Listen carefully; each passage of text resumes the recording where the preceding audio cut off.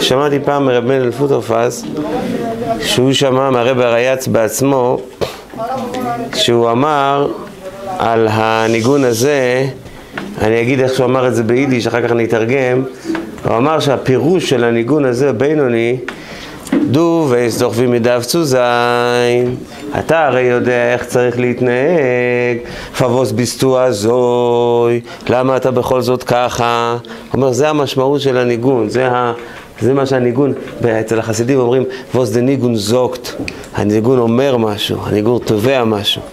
אז זה המשמעות, אתה יודע איך אתה צריך להיות, איך צריך להיות, למה אתה ככה, למה אתה איך שאתה. אחי ורעי אהוביי אשר כנפשי, אבקש את תשומת לבכם. אני מבקש את עזרתכם היום. לקחתי על עצמי בסייעתא דשמיא ובעזרתכם הנדיבה להחזיק את כל אל הוראה ומשפט כהמשך של מורי ורבי הרב מאיר אהרון עליו השלום. מוריי ורבותיי, אנא ממכם תעזרו לי להחזיק את הכולל בהרחבה, בגשמיות וברוחניות להחזיק את הדיינים, להוסיף עליהם, לעלות מחיל לחיל בתורה ויראת שמיים, והקדוש ברוך הוא ישלם לכם כגמולכם הטוב, בבנה, בחיה, במזונו ובכול הרוויחה, בסייעתא דשמיא, שתראו אותה בפועל ממש. כל שקל ושקל שאתם נותנים, יחזור אליכם ביתר שאת, ביתר עוז, ותראו ברכה והצלחה בכל מה שאתם צריכים, גם בגשמיות, גם ברוחניות וגם בחינוך הילדים. למטה בתיאור הסרטון ישנו לינק שאפשר באמצעותו לתרום באופן ישיר, תבורכו מפי עליון. אז העבודה הפנימית של התוועדות חסידית, בפרט התוועדות שקשורה עם גאולה, גאולה פרטית, ומתוך הגאולה הפרטית הגאולה הכללית, זה העניין שאתה הרי יודע איך אתה צריך להיות, אז למה אתה ככה? זה גם עלינו, וזה גם על הקדוש ברוך הוא. הרי הקדוש ברוך הוא רוצה להיות בגאולה. לחיים, לחיים. חיים לברוכה. היה חסיד אחד, קראו אותו רב שמחה גורודצקי, היה חסיד של הרב הרייץ. בכפר חב"ד יש מוסד שנקרא אור שמחה, זה על שמו קראו את המוסד הזה, אור שמחה על שם רב שמחה גורודצקי. רב שמחה גורודצקי היה יהודי של מסירות נפש. הוא לימד, לימד ילדים בזמן הכי קשה, הכי הכי קשה. קצת ניכנס לאווירה של הימים ההם. רב שמחה גורודצקי נשלח על ידי הרב הרייץ לעשות נפשות, לעשות נפשות, לעשות כסף, כמו שאומרים, בשביל תלמודי תורה של ילדים קטנים. וזה היה עבודה לא פשוטה, הוא הלך ביחד עם החסיד המפורסם רביצ'ר דרמסמיל, רביצ'ה, רביצ'ה המפורסם שהיה יהודי בינוני של טניה, אולי אפילו יותר מבינוני של טניה. אז הוא הלך איתו ביחד לאסוף כסף, והרב הרייץ מינה ככה, שרביצ'ה דרמסמיד יגיד חסידות, יבוא למקום, יגיד חסידות. ואילו רב שמחה גורודצקי, העבודה שלו הייתה לאסוף את הכסף מהאנשים, תרומות לחדורים, לישיבות. אבל הבעיה היא שרבי צדר מסמיד היה יהודי, היה יהודי שמימי, היה יהודי רוחני. הוא היה מגיע למקום, מתחיל להגיד מה הם... ועובר חצי שעה, ועובר שעה, ועובר שעה וחצי, ואפילו שעתיים, ואנשים היו בורחים, בסוף הוא היה פותח את העיניים ומסתכל סביב, והחדר היה ריק, ולא היה ממי לאסוף כסף. אז אמר, רב שמחה גורודצקי אמר, אי אפשר להמשיך ככה, אנחנו לא עושים כסף, אנחנו לא מצליחים לאסוף לישיבות שום דבר, לחדורים שום דבר. אתה יודע מה, רביצ'ה, אנחנו נעשה הפוך. אני אגיד את האכסידס, ואתה תאסוף את הכסף. אז זה הלך, ואז התחיל, ואז, ואז, ואז הקופה התחילה להתמלות. אז אחרי זה רבי, רבי שמחה גורודצקי הגיע לרב הרייץ, הוא אמר לרב הרייץ, רבה, הנה הקופה, הנה הכסף, אני רוצה להגיד לך, זה בזכות הפטנט שלי. כי כשרבי איצ'ה היה אומר סידס, הוא היה אומר ואומר ואומר ואומר, ובקיצור, אז אנחנו התחלפנו. אז הרב הרייץ הראה פנים של, שהוא לא מרוצה. אז הוא שואל, רבי ווסיז, מה הבעיה? מה לא בסדר במה שאני עושה? אומר לו הרב הרייץ, רב איצ'ה הוא זה שצריך להגיד חסידס. אתה תאסוף את הכסף. אומר רבי, אבל איתו אי אפשר, לא אוספים כלום. אומר לו הרב אריאץ, איצ'ה צריך להגיד חסידס ואתה צריך לאסוף כסף מפני שאיצ'ה הוא אדם רוחני. עכשיו, מכיוון, אנחנו צריכים לדעת, החסידים של הרב אריאץ, והרב אריאץ בעצמו, ההנהגה, אנחנו רגילים להנהגה של הרב. אנחנו חסידים של הרב, אנחנו רגילים להנהגה של הרב. ההנהגה של הרב זה ההנהגה, הנהגה מלכוסדיק, הנהגה מאוד מרוממת. החסיד שעומד ליד הרבה, הוא לא מרגיש שהוא יכול לפתוח את הפה, הוא לא מרגיש שהוא יכול להגיד משהו. אני הקטן הרגשתי את זה פשוט בגשמיות, אתה לא יכול, אתה רוצה, אתה רוצה לבקש ברכה, אתה, רוצה, אתה לא יכול, אתה מרגיש מין זרם חשמל כזה שעובר בך, ואתה לא יכול עד שאתה זה ומעיפים אותך קדימה. ככה זה היה. ו... וככה היה ש... ש... ש... זה... אצל הרב הרייץ זה לא היה ככה. אתם שמים לב במכתבים הכלליים של הרב הרייץ, אז הוא כותב אל ידידינו אנש. פונה אל החסידים בלשון ידידינו אנש. הרב פונה אל בני ובנות ישראל בכל מקום השם, אשר, אשר הם, השם עליהם יחיו. זה משהו כזה, בני ובנות ישראל מלמעלה, הרב הרייץ ידידינו, אתם כולכם ידידים שלי. אצל הרב אתם בנים שלי, בני ובנות ישראל. הרב הרייץ אנחנו ידידים. זה משהו אחר, זה הנהגה אחרת, זה... בקיצור, למה אני מספר את זה? מכיוון שחסידים, בדור שלנו, כשהם עמדו ביחידות אצל הרבה בקודש הקודשים, בתוך החדר, גן עדן העליון, הם לא פצו פה, היו מגישים לרבה מכתב, והרבה קורא את המכתב ועונה את התשובות, ובכלל לא, לא, לא, לא, לא מעיזים בכלל לדון עם הרבה על מה ש... שום דבר, לא שייך. ואילו אצל הרב הרייץ היה דו-שיח. החסיד יכל אפילו לדבר בדו-שיח, כי הרב הרייץ היה, איך אומרים, עם הסברת פנים כזאת, שנותנת לך הרגשה שאתה יכול לדבר איתו בגובה העיניים. למעשה, רב שמחה גורודסקי אומר לרב הרייץ, נו, נו, אז מה, מה? אה, אה, אה, מה המיוחד ברבי צ'דר מסמיד? אז אומר לו הרב הרייץ, איצ'דר מסמיד הוא יהודי רוחני.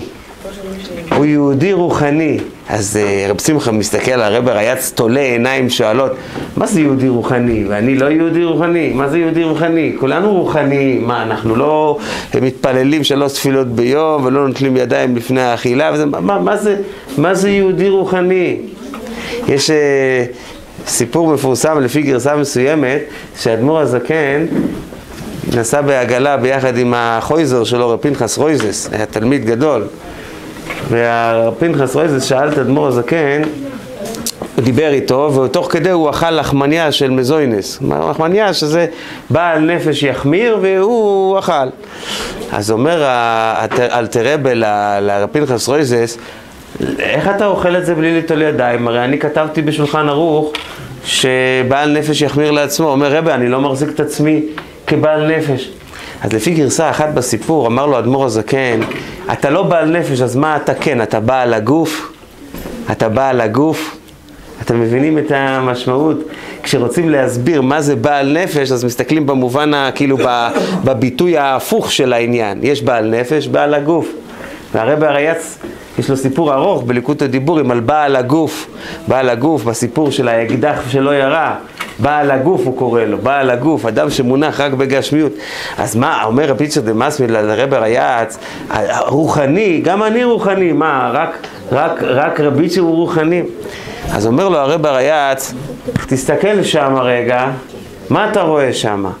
הוא מסתכל, הוא לא רואה כלום. הוא שואל אותו עוד פעם, מה אתה רואה שם? אתה לא רואה שם כלום? הוא לא רואה כלום. הוא אומר, אני אגיד לך, במרחק של אה, קילומטרים מכאן, יושב החוסיד רב ברוך שולם כהן ביחד עם הבן שלו רפול, רב רפואל כהן, רב פולה כאן, זה האבא של החויזר, רב יואל כאן, שכתב הספר שמועות וסיפורים, הוא יושב שם אחרי יום קשה שעבר עליהם, ושאין פרנסה ואין אוכל והם רעבים, והם יושבים עכשיו ביחד והם לומדים שיעור טניה. שיעור טניה הם לומדים. ועכשיו מי שמסתכל ומי שיש לו עיניים רוחניות רואה את האור, איך שהם לומדים טניה אחרי יום של רעב ושל קושי ושל מסירות נפש, והם לא מוותרים על השיעור טניה שלהם. אז אומר הרב הרייץ לרב שמחה גורדצקי, ותדע לך ש, שרבי צ'דר מסמיד היה רואה את האור הזה. וזה נקרא אדם רוחני, הוא אדם רוחני, הוא, הוא מסוגל היה לראות את האור הזה. אז אתה לא יכול, הוא כן יכול, הוא צריך לחזור חסידס, הוא זה שצריך לדבר, אתה תאסוף כסף. זה אני מביא כהקדמה, רב שמחה גורודצקי היה יהודי של מסירות נפש. רב שמחה גורודצקי היה פעם אצל הרגצ'ובר, הרגצ'ובר היה בלנינגרד. והוא נכנס לרגצ'ובר ביום טב, יום טב נדמה לי של סוכס. אז הרגצ'ובר שואל אותו, הרגצ'ובר היה, היה יהודי, גם יהודי וגם חסיד. היה לו, היה לו הרגש חסידי, היה חסיד. אז שואל אותו הרגצ'ובר, או, באת לרבה ללנינגרד. אז הוא אומר, לא, כן, באתי ללנינגרד לרבה. אומר לו רגצ'ובר, לא, לא, לא, אתה אומר פה שני ביטויים שונים. באת לרבה ללנינגרד, או באת ללנינגרד לרבה? מה הדבר היסודי, אתה יודע, יש כאלה שאומרים, לאן נסעת? נסעתי לאמריקה. מה עשית שם? הייתי אצל הרבה. אה, אתה נוסע לרבה, אלא מה? שזה נמצא באמריקה. מה? אומר לו אה, אה, אם באת לרבה ללנינגרד, או באת ללנינגרד לרבה, לרבה רייץ זה היה, זה שני דברים שונים, והוא אמר, נדמה לי שהוא אמר לו שיש 18 נפקמינות. אם באת לזה לזה, הוא שאל אותו מה אחת מהם, הוא אמר לו אחת מהם זה שאם באת לרבה ללנינגרד אתה פטור מן הסוכה, זה היה חג הסוכות. ואם באת ללנינגרד לרבה, אז אתה חייב בסוכה. כשאת השאלה מה אצלך העיקר. בקיצור, רב שמחה גורודוצקי נכנס לרגצ'ובר, ואז הוא אומר לרגצ'ובר, אה, אה, אה, סליחה, אפשר בבקשה, אפשר בבקשה, נו, נר, אני רוצה לעשן, אני רוצה לעשן. זה היה יום טב, יום טב אוכל נפש, מותר. הרגצ'ובר שמע שיהודי רוצה לעשן, תפס את שתי הרגליים שלו ורץ למטבח להביא לו אש. אז אומר, אומר רב שמחה גורדוצקי לרגצ'ובר, לא, לא צריך, לא צריך, לא צריך, לא צריך, אל תביא. אני רק רציתי לדעת מה הרגצ'ובר חושב, מה כבוד הרב חושב, האם מותר לעשן ביום טוב. אתם יודעים שזו מחלוקת גדולה, אם אפשר לעשן ביום טוב, ואם זה אוכל נפש, מותר בשבילו לה, להעביר אש. אומר לו הרגצ'ובר, פה רואים שהיה חסיד, אומר לו הרגצ'ובר, אני, אני בחיים שלי לא עישנתי, בחיים שלי לא עישנתי. מכיוון שלא עישנתי אף פעם אני לא יודע איזה סוג תענוג זה, ומכיוון שאני לא יודע איזה סוג תענוג זה, אני לא יכול להחליט האם זה אוכל נפש או לא, אבל מכיוון שאתה יהודי ואתה מבקש את האש, אז יש לך חזקת קשרוס, לכן אני יכול להביא לך את האש ביום טב. זהו, סגר את העניין. בקיצור, שמחה גורדסקי, זה הכל היה הקדמה. רב שמחה גורדסקי יום אחד, באמצע הלילה דופקים אצלו בבית, באמצע הלילה, תופסים אותו, אתה יודע, איך שהם היו דופקים בדלת, אתה גורדסקי, אתה זה, פיפ, סוחבים אותו באמצע הלילה. למה לא באמצע הלילה? כי ביום הם למדו חסידס, אז באמצע הלילה יש להם זמן לאסוף אנשים. לא, הם עשו את זה בכוונה כדי שאנשים ייכנסו לטראומות. אתה לוקח בן אדם באמצע הלילה, נכנס לטראומה. לקחו אותו באמצע הלילה, וזה מתחיל מכות, עינויים, עניינים. מה היסוד? הם רוצים שהוא יגלה כל האנשים שעבדו איתו. כל האנשים שהוא זה, שהוא, אה, אה, מי הם המלמדים, מי הם התלמידים, מי הם ההורים, מי אלה שזה, רוצים עדויות. הוא, כמו החסידים המסורים האחרים, קיבל על עצמו לא להגיד אף מילה, אין דיבורים, לא שום דבר. אז הרביצו לו מכות, לא נתנו לו לישון, הכניסו אותו לצינוק, עשו לו צרות צרורות, איסורים שרק השטן יודע לדמיין, והוא לא פתח את הפה. אז מה הם עשו לו? יום אחד הוא נמצא בחדר, פתאום הוא שומע את אשתו מאחורי הדלת. ואשתו בוכה, בוכה, בוכה, והיא מדברת ביידיש אליו, שהוא נמצא כאילו בתוך החדר המאסר, מדברת אליו ביידיש ואומרת לו איזה, אתה לא מבין מה עושים לילדים, איזה מכות נותנים לנו, איזה, איזה סבל, איזה, איזה קושי, אני לא יכולה להחזיק מעמד כבר, אתה רוצה שלילדים לא יהיה לא אבא ולא אימא, וככה היא בוכה ובוכה ובוכה, ואיך אומרים, הוא יכול להיאבע, זה אשתו, הלב שלו נמאס לגמרי, והילדים שלו, ומי יודע מה עושים להם וכולו וכולו, אחרי זה לוקחים אותה, והוא שומע חבטות הצלפות, והוא שומע אותה צורחת, ועוד פעם, הוא יכול להישבע שזו היא. האדם לא מכיר את אשתו. הגמרא אומרת ש, שהאדם מכיר את אשתו אפילו בקול שלה, זה נפקא מינה גם כן לכל מיני דברים, אפילו את הקול הוא מזהה. בקיצור, הבן אדם עמד בניסיון קשה מאוד, להלשין או לא להלשין. או שיקחו את אשתו ואת בניו ויזרקו אותם לא יודע מה, לאן. להלשין או לא להלשין, להלשין או לא להלשין, בסוף הוא אומר, זה רק, זה רק עבודה של למעלה מהשכל, לא פותח את הפה, אני לא מכניס אף אחד בתוך הבעיות שיש לי, לא מדבר אף מילה. בקיצור, הוא סבל ייסורי גיהנום, לקחו אותו לסיביר, עבודת פרך, שנים שנים מחוץ לבית. אחרי שנים הבן אדם חוזר הביתה, נפגש עם אשתו, הוא אומר לרעייתי הכבודה, איך עמדת בכל האיסורים האלה וההצלפות האלה והמכות האלה שנתנו לה, איך הילדים החזיקו מעמד? זו השאלה הראשונה שהוא שואל אותה. והיא אומרת לה, שמחה יקירי, על מה אתה מדבר? איזה מכות? אומר, המכות, ששמו אותך בית סוהר, הילדים. אומרת לו, לא היה דברים מעולם. בחיים שלי לא לקחו אותי לבית סוהר. אומרת, מה זאת אומרת? את לא עמדת מאחורי הדלת, לא הביאו אותך למאסר, לבכות לי מאחורי הדלת של המאסר איפה שאני הייתי. לא היה דבר כזה? אומרת, לא היה דבר כזה. את אומרת לי את האמת? את האמת אני אומרת לך, לא היו דברים מעולם, אף אחד לא לקח אותי. זה שתדעו לכם, זה רק להתאים את ה... איך אומרים? לחמם את ה... להבין על מה מדובר. הרוסים, חלק בלתי נפרד מהיכולות שלהם היה, זה מערכת הטעיה. ושקרים והונאות ומשחקי אה, פסיכולוגיה על בני אדם כדי שהם יודו, הם חזקים בזה, הם היו חזקים בזה אז והם חזקים בזה עד היום, זה הכוח המיוחד שלהם. הם כל הזמן עושים אה, משחקים שיחשבו, שיחשבו, שיחשבו, שיחשבו, כן, זה הכוח המיוחד שלהם. בקיצור, בן אדם לא מזהה את אשתו, לא מזהה את הקול שלה, לא מזהה את הבכי שלה, הוא מדברת איתו בשפה שלו, מבקשת ממנו, וזה לא אשתו וזה לא כלום. עבודה בעיניים.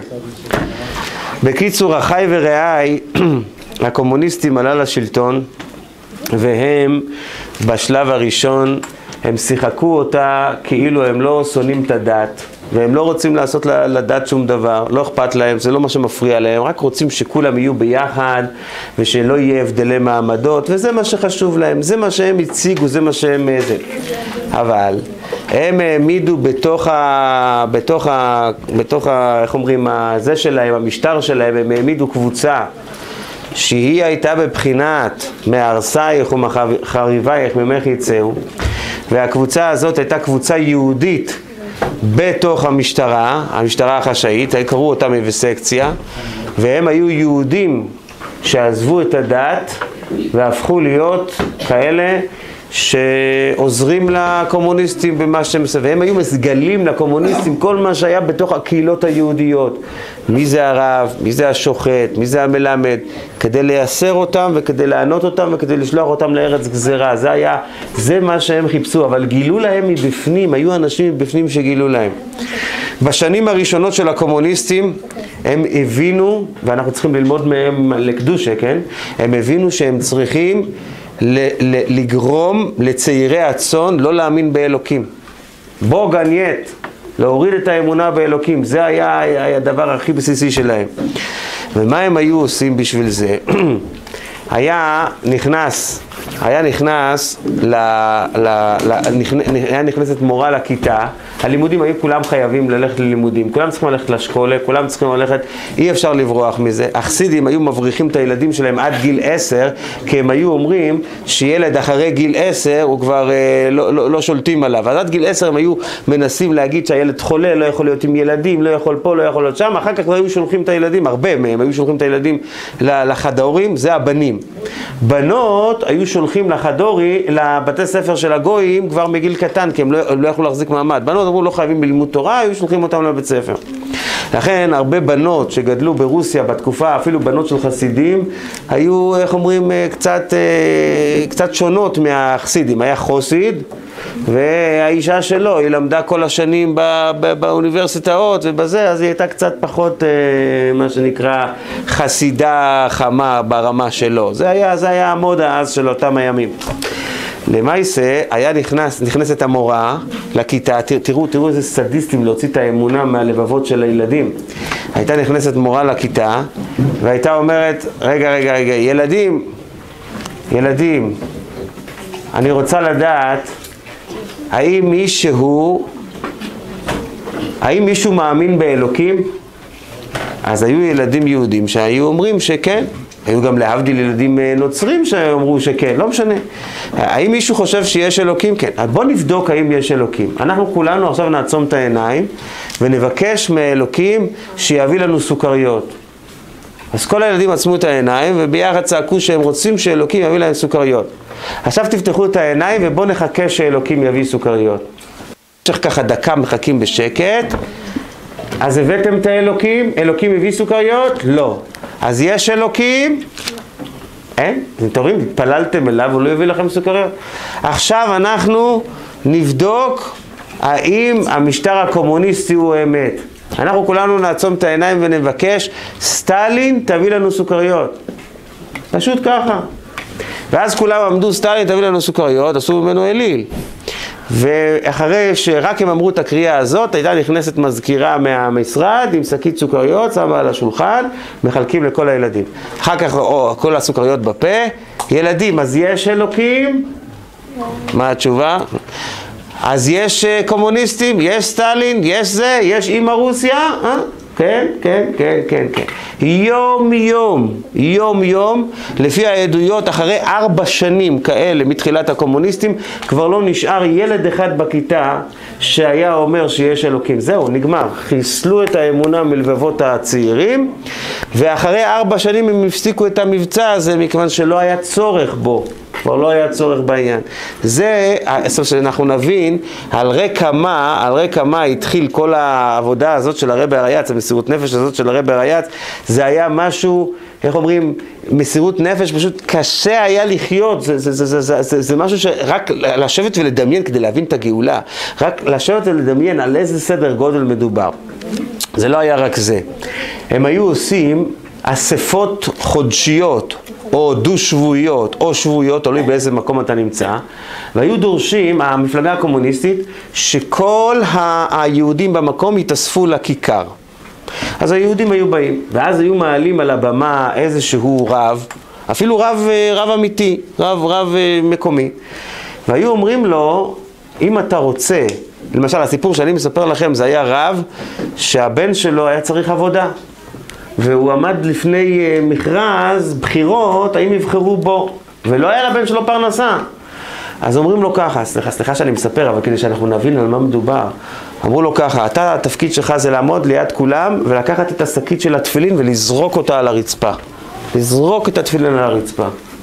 אם תעשה את זה, אתה תקבל פרנסה, אנחנו נסדר לך מהמשרד של הקומוניסטים, תקבל פרנסה קבועה. אם תעשה את זה, אתה תקבל, אה, בן שלך יקבל משרה, יהיה לך אוכל לכל החיים, וזה רק אנחנו מבקשים ממך, שכל הציבור יראה איך שהרב לקח את התפילין וזרק אותם על הרצפה. עכשיו, אתם צריכים להבין שפה הרב נכנס בדילמה. כי מצד אחד, לזרוק תפילין, זה, זה, זה, זה, איך אומרים, הלב היהודי לא נותן לזה מקום. מצד שני, אם אנחנו נתחיל עכשיו עם האצבע לעשות דרי ישיבתי, לעשות סיבוב ולהתחיל להתפלפל, התפילין שאתה לוקח, אה, כתוב בהלכה שהתפילין נופלים על הרצפה, אז צריכים להתענות. אבל זה נאמר רק כאשר התפילין בלי כיסוי. אבל אם התפילין עם כיסוי, זה כבר לא נקרא שהם נפלו על הרצפה, אתה לא צריך להתענות. ואם יש להם שני כיסויים, אז עוד יותר טוב. אם מדובר על שלוש כיסויים, גם את הבתים שלהם, וגם את השקית בד שלהם, וגם את השקית ניילון, השקית שעוטפת את הטלית והתפילין ביחד, אז, אז זה לא כזה בעיה הלכתית, כמו שאומרים במובן היבש של העניין. אבל מצד שני, זה זה, זה החינוך שאני אראה לכל האנשים, אוספו אותם, שיראו איך שהרב מזלזל בתפילין. זה הפרצוף שאני אראה לכולם. אז היו רבנים שיכלו לעמוד בזה, והם לא עשו את זה. היו רבנים שפחות יכלו לעמוד בזה מסיבות שונות, או עינויים, סבל, אני לא יכול לדון אותם אפילו, אבל זה היה המצב. וברגע שיהודים ראו כל פעם בשבועיים, פעם בחודש כזה מבצע, כל פעם על משהו אחר, אז הורידו את כל, ה, את כל הערך של היהדות ברמות לא נתפסות, ברמות כאלה שבאיזשהו מקום האנשים איבדו את, ה, את, ה, את היכולת שלהם ואת הרצון שלהם ואת החמימות היהודית שלהם להמשיך הלאה להאמין בקדוש ברוך הוא. וכאן, פה, ב- ב- ב- ב- בנקודה הזאת, נכנס הרבי הרייץ עם כל המסירות נפש שלו, כמו שנראה בהמשך. לחיים, לחיים. חיים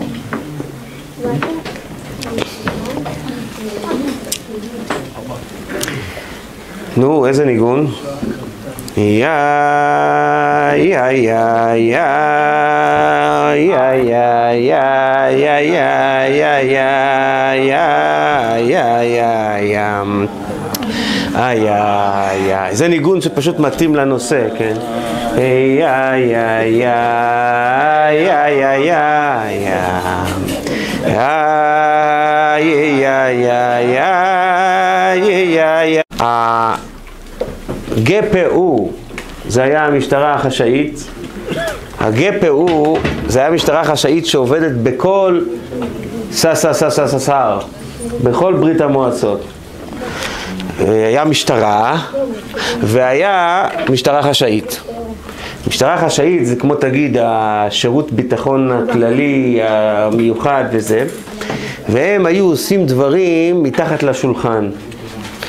כשהחליטו לאסור את הרבי הרייץ, זה לא היה שייך למשטרה הרגילה, אלא למשטרה החשאית.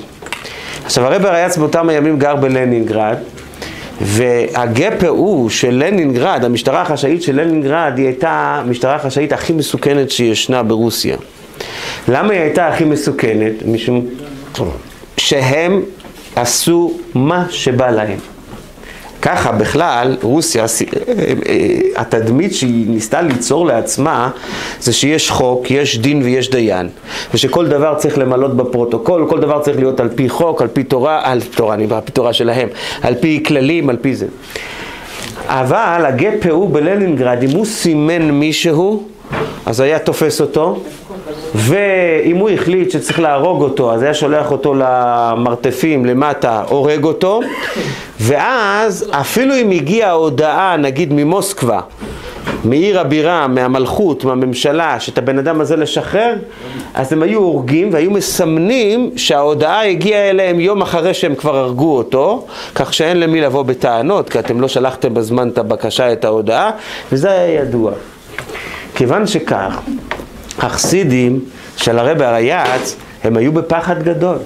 ולמה הם היו בפחד גדול? משום שלך תדע מה יהיה מחר. זאת אומרת, כל יום שהוא נתון בגפ"ו ההוא של לנינגרד, הם יכולים בשנייה אחת להרוג אותו, וכמו שכולם יודעים, זה היה התכנון. התכנון היה להרוג אותו. מה שהציל את המצב, אפשר לומר בעין, זאת אומרת בגשמיות, הרי כל דבר יש לו את, ה, את הסיבות הרוחניות ויש לו את ה, איך שזה השתלשל כאן בעולם הזה. מה שהציל את המצב זה היה פרסומת חוץ שעשו סביב זה. סבוב המאסר של הרבי הרייץ עשו, עשו uh, פרסומת חוץ וזה גרם כאילו לאנשים שהם uh, פחדו ש, שיש להם תדמית שלילית משום שהדמות של הרבי הרייץ הייתה דמות מאוד מאוד מפורסמת בחוץ לארץ והם נורא נורא פחדו שיצא להם שם רע, שיחשבו עליהם דברים שליליים. זה היה, זה היה כאילו דבר שאיתו אתה יכול uh, לשחק. עכשיו, כמו שאתם שמעתם קודם, את הקבוצה היהודית בתוך המשטרה החשאית, האבסקציה, הקבוצה היהודית הזאת הייתה נורא נורא מסוכנת ושונאת. וכאן חסידים היו תמיד מדגישים שהיה משהו מיוחד במאסר של הרבי הרייץ והגאולה של הרבי הרייץ, היה משהו נורא, נורא משמעותי. ומה זה בא לידי ביטוי? כשהאדמו"ר הזקן נכנס למאסר, אז אמנם היו מתנגדים שהלשינו עליו. והם כאילו, המתנגדים כאילו גרמו שהממשלה של, של, של, של, של רוסיה אה, תרצה להכניס את האדמו"ר הזקן למאסר. זה כאילו היה העניין. אבל מי זה שהכניס אותו בפועל למאסר? מי זה שבפועל היה המפקד עליו? זה היה גויים. אנחנו יודעים בחסידות שלגוי אין בחירה חופשית. גוי יכול לעשות משהו, רק מה שהקדוש ברוך הוא נותן לו. אז באיזשהו מקום, אדמו"ר הזקן היה בהגנה מאוד מאוד חזקה, שאומנם המלשינות הייתה של, של יהודים, מלשינות, אבל הביצוע היה ביצוע של, של, של, של, של גויים. אז היה כאילו כמו שמור, באיזשהו מקום הוא היה שמור. וככה המאסרים של כל רבותינו נשיאינו היו בסגנון הזה. ואילו אצל הרבי הרייץ, אלה שביצעו את המאסר, אלה שיזמו אותו ואלה שזממו גם כן ליטול את נשמתו, או חלילה, הם היו יהודים. הם היו יהודים. ומה היה החשש הגדול? החשש הגדול היה שמבחינה, כיוון שיהודי יש לו בחירה חופשית, אז המלחמה איתו היא סוג אחר של מלחמה. זאת אומרת, י"ט כסלו זה ניצחון של הקדושה על הקליפה, אבל על איזה קליפה? על קליפה של, על קליפה של, של, של, של גוי.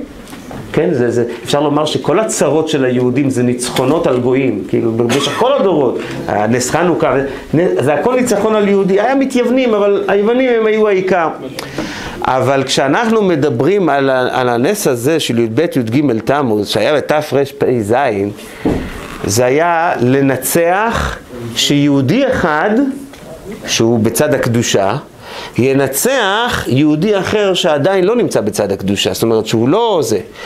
ולכן כשהרבי הרייץ כתב את המכתב, לא אותי בלבד גאל, הקד... גאל הקדוש ברוך הוא, אלא את כל מחבבי תורתנו הקדושה וכל אשר בשם ישראל יכונה אפילו, אנחנו צריכים להבין מתרפ"ז עד, עד שיתאסף פה קהל גדול פה בארץ ישראל, במה שנקרא מדינת ישראל, כמה שנים עברו?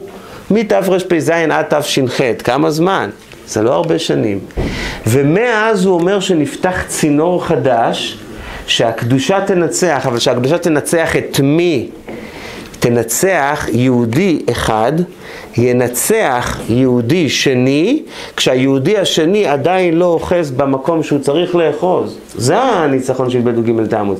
אז בפשטות, איך אומרים בהתוועדות, אפשר להגיד גם כן דברים של אה, הרגש, בפשטוס זה היה הכנה למה שקרה אחר כך בכל הקום המדינה, שהמלחמה במשך 73 שנים, יש פה מלחמה, לא רק מלחמה עם הפלסטינאים, יש פה מלחמה, מלחמת, מלחמת תרבות, זה כולם מודים שיש פה מלחמת תרבות, המלחמת תרבות שקיימת כאן, פה במדינת ישראל, אני מדגיש, במדינת ישראל, אז זה, זה, זה, דבר שהוא, זה דבר שהוא צריך לקבל איזושהי יניקה של כוח רוחני, שהקדוש, שהפצת היהדות, שהפצת החסידות, שה... איך אומרים, הצד, הצד של לתת uh, כוח רוחני והוא יצליח להתגבר על הצד של השד משדים יהודאים שזה הרבה יותר קשה, זה הרבה יותר מסובך. זה י"ב י"ג תמוז. לכן, כשהיו שואלים פעם, היו רוצים לדעת מי הוא חוסית גדול יותר, האביסקציה, או ה-NKVD, או הגפ"ו, או בכלל, כל המשטר של רוסיה, שהיה רוצה, אז היה שואל, החוסית הזה, איפה הוא שותה לחיים יותר? אם הוא שותה לחיים יותר בי"ט כסלו, אז הוא חסיד קטן. אם הוא שותה לחיים בי"ב י"ג תמוז, אז הוא חסיד גדול, הוא מסוכן יותר. למה הוא מסוכן יותר? משום שהמלחמה שלו היא לא מלחמה של יהודי נגד לא יהודי. המלחמה שלו זה יהודי נגד הצד של עדיין נפש הבהמית, או שד משדין יהודאין, שעדיין לא התגלה, זה מלחמה. מוריי ורבותיי, ואנחנו בי"ב י"ג תמוז באיזשהו מקום אנחנו ממשיכים את אותה הבחינה עד עצם היום הזה, זאת אומרת המלחמה שלנו היא עד עצם היום הזה של אה, חירפו עקבות משיחיך, זה המלחמה שאנחנו קיימים, הי"ג תמוז זה חג גאולה שלנו, זאת אומרת אנחנו צריכים למשוך משם כוח, קודם כל להתגבר על הנפש הבהמית שלנו, נפש הבהמית שלנו. שהיא באה ואומרת לנו כל מיני דברים, ואנחנו בסך הכל יהודי, סך הכל אה, יהודי בן לאברהם, יצחק ויעקב. סך הכל יש לו רעיונות לא רעים, לא, לא נורא, לא נורא, זה השלב הראשון. אחר כך יש, אה, יש אה, מה שנקרא היהודי שבסביבתך, שאומר לך או עושה, מצנן אותך, מקרר אותך, רוצה שתלמד לימודי חול, רוצה שתלך לצבא, רוצה שתעשה כל מיני דברים שהם, אתה צריך ללמוד איך אתה מתגבר על זה, ושהצד של הקדושה, הצד של החסידות, הצד של הוורמקייט החסידי, החמימות החסידית, אז היא, היא, היא תנצח, וזה, וזה, וזה דבר שהוא לא פשוט. עכשיו נשאלת השאלה, וזו באמת שאלה קשה. יש פה עכשיו בעשר תפילת ערבית. בכל אופן, אנחנו יהודים, וזה מאוד מאוד מאוד מעניין למה יהודים נמשכים לדבר כזה. כאילו, למה יהודים כל כך רבים נמשכו אחרי הקומוניסטים, לפחות הצעירים שבהם? אז אפשר לומר שמעבר לקושי הכלכלי, מעבר לקושי החברתי, היה קושי אחר, קושי פנימי יותר. דבר ראשון, הקושי של הגלות. הקושי של הגלות יצר אצל יהודים שנאה לנבדלות.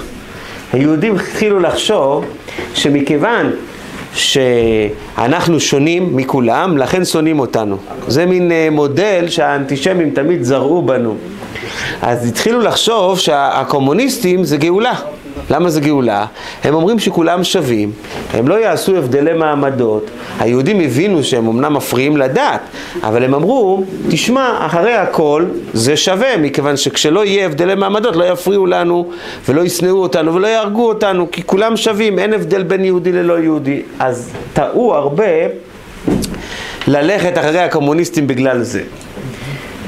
אומרים בדיחה שפעם אה, היו אנשים שראו הר גדול והם החליטו שצריכים להעיף את ההר הזה מפה, הוא מפריע להם באמצע הדרך. חשבו וחשבו איך לעשות את זה, החליטו לנסר את ההר. התחילו לנסר את ההר, ואז כשנפתח הפנים, התחילו לזרום משם מטבעות זהב. אז הם התחילו למלות מטבעות זהב, והם עומדים וממלאים שם, הם הפסיקו את הניסור של ההר, הם עומדים וממלאים שקים של מטבעות זהב עד עצם היום הזה. רצו בזה לבטאות מה קרה לעם הרוסי. הם אמרו, בלי הבדלי מעמדות, כולם שווים, אין עשירים ואין עניים. החליטו להוריד את ההר הזה של הבדלי המעמדות. יש גבוה, יש נמוך, אין גבוה, אין נמוך, כולם אותו דבר. ואז כשהם ניסו לנסר את ההר הזה, זה יוציא הרבה כסף. הם הרי לקחו את הכספים של כל האנשים, נישלו את כל האנשים מהקרקעות שלהם, מהאדמות שלהם, מהבתים שלהם, מהמפעלים שלהם. אין שום דבר פרטי, הכל של הממשלה. והם גנבו את הכסף לעצמם. ואת ההבדלי מעמדות הם לא הצליחו להסיר, ההר נשאר עד היום, רק את הכסף הם הצליחו לקחת. וזה היה המודל של אותם הימים. היהודים טעו בזה, טעות ראשונה. נקודה שנייה שהרבה גם כן הזכיר אותה כמה פעמים, הטבע של יהודי זה טבע של מהפכנות. כל הזמן מחפש מהפכנות. לכן, בכל המהפכות הגדולות שהיו בעולם בשנים, במאה, מאה חמישים שנה האחרונות ועוד קודם לכן, תמיד יהודים היו ראשים חזקים מאוד של המהפכה. גם המהפכה הזו שהייתה ברוסיה, המהפכה של הקומוניסטים, זו הייתה מהפכה שעשו אותה יהודים. יהודים ניהלו את המהפכה הזאת, אה, אלה שעמדו, הם היו הראשים מאחורי כל הבובות, הגויים שעמדו שם, הם היו הראשים. למה יהודי מחפש כל הזמן מהפכה? מכיוון שהנשמה היהודית שלו כל הזמן דורשת שהוא יעשה ילכו מחיל אל חי, בקדושה. שהוא יעלה כל הזמן, שיהיה לו תנועה כל הזמן. אז לכן הוא נמשך לשם, הוא חושב ששינוי, ישראל רוצה שינוי. חושב ששינוי זה איזשהו משהו שהוא קדוש, זה הנשמה שלו צועקת, זה, זה, צד, זה צד חיובי בתוך היהודי. מספרים שהייתה נערה אחת, קראו אותה בתיה. והיא לא שינתה את השם שלה גם אחרי שהיא אה, הפכה להיות חברה במפלגה הקומוניסטית.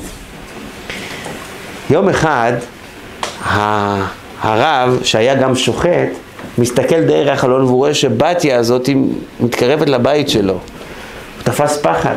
כולם ידעו שאם היא נוגעת במישהו, אם היא מתקרבת למישהו, אחת דתו להמיץ. כאילו היא הייתה השונאת ישראל הכי גדולה שהייתה שם באזור. היא נכנסת, דופקת על הדלת, היא נכנסת ומוציאה מהסל שלה עוף, תרנגולת. היא אומרת, אני רוצה שתשחוט לי את התרנגולת הזאת. אז הוא מסתכל עליה בפליאה, מעולה בפחד, איפה, איפה, היא, איפה היא מחביאה לו את, את השקר? היא אומרת לו, תשמע, אני, אני אדם אמיתי. אבא שלי, שהוא אדוק כמוך, כאילו הוא דתי, מתארח אצלי עכשיו. והוא לא יאכל אצלי אלא כשר. והוא רוצה שאני אעשה שחיטה כשרה. אני לא אשקר את אבא שלי. אם הוא דורש ממני שחיטה כשרה, אני לא מאמינה בזה. אבל אני אביא לו תרנגולת שחוטה, אני אכין לו את האוכל הכשר בכלים כשרים, כי זה מה שהוא רוצה. אז הרב הזה מספר למשפחה שלו, תראה מה זה, נשמה יהודית. היא שקועה עמוק עמוק, בשקר, אבל היא לא תשקר, היא תיתן לו את האוכל הכשר שלו, היא מאמינה. טוב, אחרי כמה ימים, אחרי כמה שבועות, החליטו הקומוניסטים באותו מקום לקחת את בית הכנסת, כמו שאומרים, להחרים את בית הכנסת לטובת, להבדיל בין קודש לחול, לטובת מועדון נוער של המפלגה הקומוניסטית.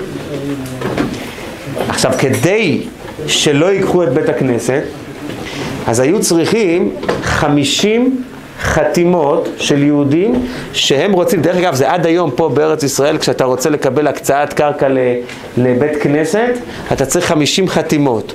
50 חתימות של יהודים שאומרים שהם צריכים את בית הכנסת למקום תפילה. כי הם כאילו באורגינל, הם, הם, הם לא אסרו את, ה, את התפילה, הם לא אסרו את זה. אתה יכול, כל אחד יש לו פולחן אה, זה, רק לא לחנך את הילדים בצורה הזאת. אז, אה, אז התאספו כולם, כל היהודים של אותו מקום, והם כולם רועדים מפחד. עומד, עומדת על הבמה בתיה, אותה, אותה נערה שעזבה את הדת והיא הפכה להיות חברה במפלגה הקומוניסטית, היא עומדת שם ביחד עם החברים שלה, היא אומרת, יאללה, נו, האם אתם צריכים את בית הכנסת? אנחנו רוצים אותו למועדון אה, של הקומוניסטים. אנחנו רוצים לה, להלאים אותו. יש פה, יש פה מישהו שחושב ש, שהוא צריך את בית הכנסת בשביל תפילה? עכשיו, היו שם הרבה יותר מחמישים שרצו אותו לתפילה, אבל כולם פחדו פחד מוות.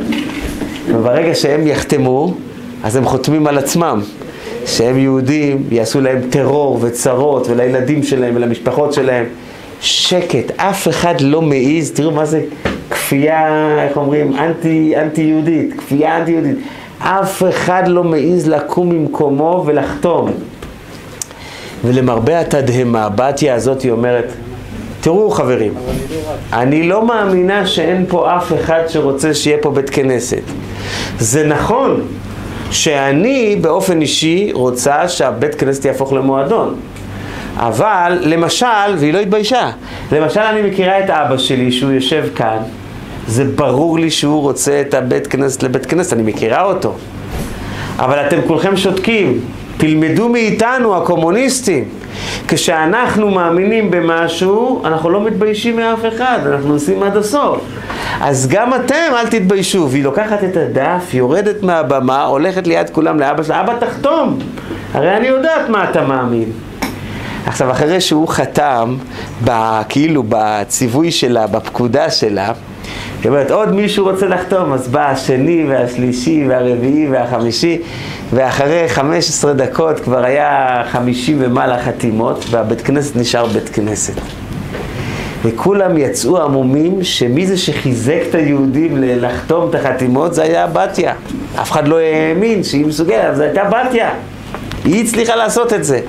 ואחרי כמה שנים היא גילתה שהקומוניסטים זה חתיכת שקר והיא חזרה בתשובה והיא הקימה בית, משפחה חסידית וכולו, כמו שאומרים, לא אומרים את השם שלה בזה ומי ומה, מפני כבודה. אבל להראות לכם שיהודי אחרי הכל לאן הוא נמשך, הוא נמשך לאמת. יכול להיות שיש שקר שהוא חושב שהיא אמת, לעת עתה, אבל ברגע שהוא עולה על זה, אז הוא בורח מזה.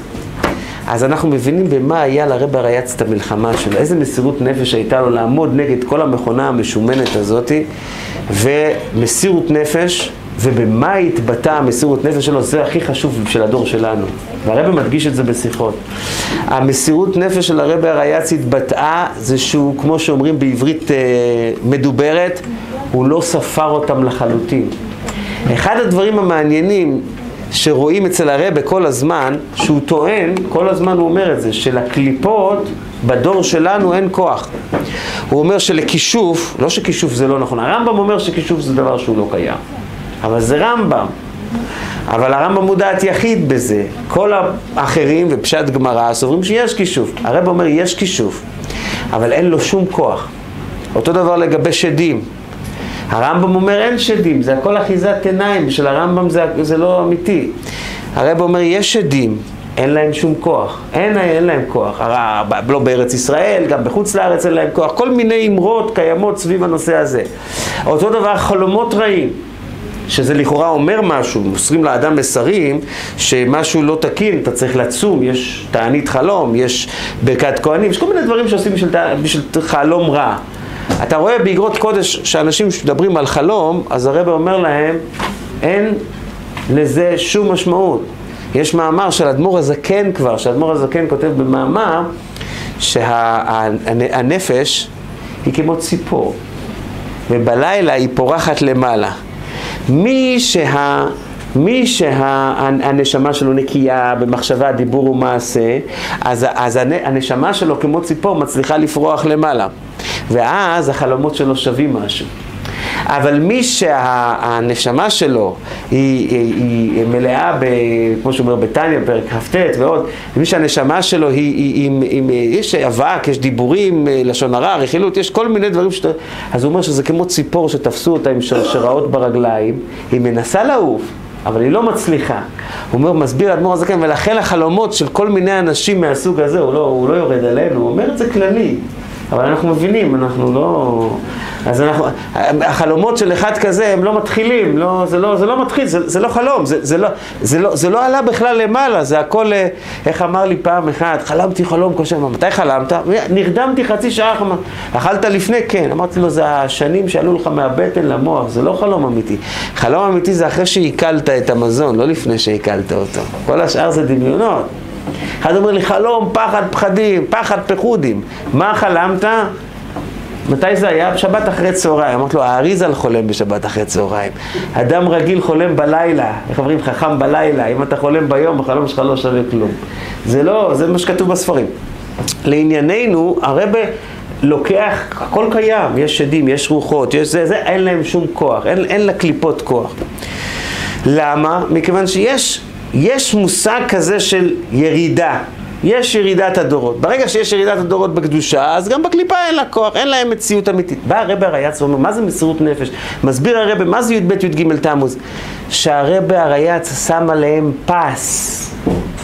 שם עליהם פס. אומרים על יוסף הצדיק, למה אבא שלו עשה לו כתונת פסים? משום שהיה צריך לשים פסים, הרבה פסים בחיים שלו על הרבה אנשים, צריך לשים פס על הרבה אנשים, על מצרים, על אשת פוטיפר, כתונת פסים. אנחנו נמצאים בדור שאין באמת קליפה שעומדת מולנו. אין באמת לקליפה כוח. אתה בא ליהודי, אתה אומר לו בוא תעשה זה, לב ישראל ער. אלא מה? יש את העמלק אשר בקרבך. יש בפנים איזשהו קושי, יש איזשהו... אתה צריך לדעת לא לתת לקליפה כוח, אין לה כוח, רק שאתה לא תיתן לה כוח. ורואים את זה חזק ברשימה של הרב הרייץ, שהוא, שהוא לאורך, הוא אומר, החלטתי החלטה נחושה, שאני בכלל לא מתחשב בהם, אני לא סופר אותם, הם לא מציאות, הם לא קיימים. זו הייתה ההחלטה שלו, ועם זה הוא הלך, וככה הוא, כמו שאומרים, יצא לחירות בכוח הזה, לא להתפעל. חסידים לקחו את הכוח הזה, י"ב י"ג תמוז זה חג גאולה שהאדם נגאל, סליחו לי, מעצמו. נגאל מעצמו. הוא יוצא מהישות שלו, יוצא מהפחדים שלו, יוצא מההחלטות, הוא פשוט לא מתפעל מעצמו, לא מתרגש מעצמו, מספיק, מפסיק, מפסיק לעוף על עצמו, איך שאומרים החבר'ה היום, וברגע שהוא מפסיק לעוף על עצמו הוא מתחיל לעבוד את השם והכל הולך. זה נקודה אחת. והנקודה השנייה, הסיבה שהחסידים הצליחו במסירות נפש גדולה מאוד בכל התקופות, בתקופה של הקומוניסטים בפרט, ועד עצם היום הזה, ההצלחה של החסידים נובעת מההתקשרות שלהם לרבה. שזה דבר שהוא, זאת אומרת, זה שני דברים, זה מצד אחד לשים פס על הישות, לשים פס על מה יאמרו הבריות, לשים פס על הקליפות, אבל זה לא מספיק. אתה צריך שיהיה לך גם כן רבה. עכשיו, זה לא התחיל רק ברבה שלנו ככה, שהרבה מדבר על זה כל הזמן, ולא רק ברבה הרייץ, זה התחיל מאז אדמו"ר הזקן.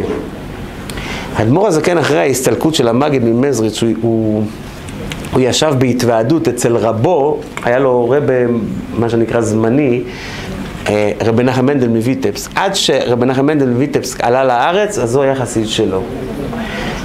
האדמו"ר הזה כן רצה לנסוע עם רבי נחם מנדל מויטבסק לארץ ישראל, והוא כבר התחיל לנסוע לארץ ישראל. הוא כבר היה בדרך, הוא היה ממש בסיום רוסיה, ושם קרא לו רבי נחם מנדל מויטבסק ואמר לו ככה. הוא אמר לו, יש נשמות, זה, זה מעניין, זה אמרה של צדיק, אני לא מתיימר להבין אותה בכלל, אבל זה אמרה של צדיק. הוא אמר לו ככה, יש נשמות שצריכות בשביל עבודתם בזמן הגלות את ארץ ישראל. ויש נשמות שלא. אני כן, אתה לא. אתה לא צריך את ארץ ישראל בגלות עכשיו, ולכן תישאר ברוסיה ות, ותקים אה, חצר, תפיץ את החסידות, אל, תבוא איתי. ואז אדמו"ר הזקן בהוראתו של רבי נחמן מנדל מוויטבסק הקים את חסידות חב"ד, התחיל לייסד את חסידות, עד אז הוא התנהג כתלמיד אצל רבו. אז פעם אחת הוא ישב בהתוועדות אצל רבי נחמן מנדל מוויטבסק, התוועדות, ובאמצע ההתוועדות רבי נחמן מנדל מוויטבסק פונה לחסידים ואומר להם, תשמעו, אתם זוכרים את החבר שלנו שנפטר לפני שבועיים? הוא נקט בשם שלו. אז uh, הם אומרים לו כן.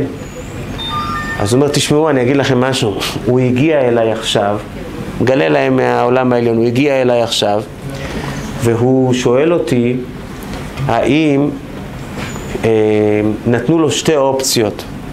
אופציה אחת זה שעתיים בגיהנום, בזה הוא גומר, שעתיים, זה בדקו בדין של מעלה, שעתיים. אופציה שנייה זה שהוא יורד עוד הפעם לעולם הזה בגלגול, תשעה חודשים, זה תקן את מה שעשה. והוא בא להתייעץ איתי מה לבחור. שאלתי אותו, מספר רב מנחם מנדל לחברה הקדישא, שאלתי אותו, מי נתן לך זכות להגיע פה לעולם הזה, לשאול אותי שאלה מהסוג הזה? אז הוא אומר, אני אמרתי להם בבית דין של מעלה, שאני בחיים שלי לא עשיתי שום דבר בלי לשאול את הרבה שלי. ומכיוון שכך, הם נתנו לרשות לשאול את הרבה מה לבחור, גיהנום או שעתיים או לרדת לעולם הזה. אז רב מנחם מנדל בענוותנותו הוא שואל את החסידים, נו, מה אתם אומרים שאני אענה לו? והחסידים שתקו. אז הוא אומר להם, ככה הוא אמר, הוא, הוא, הוא אמר, גיהינום. ובאותו רגע שהוא אמר את המילה גיהינום, שמעו צעקה בחדר, אוי רבה!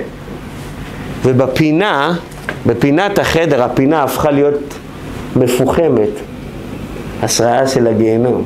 אותו אחד הלך לגיהנום בעקבות ההוראה הזאת.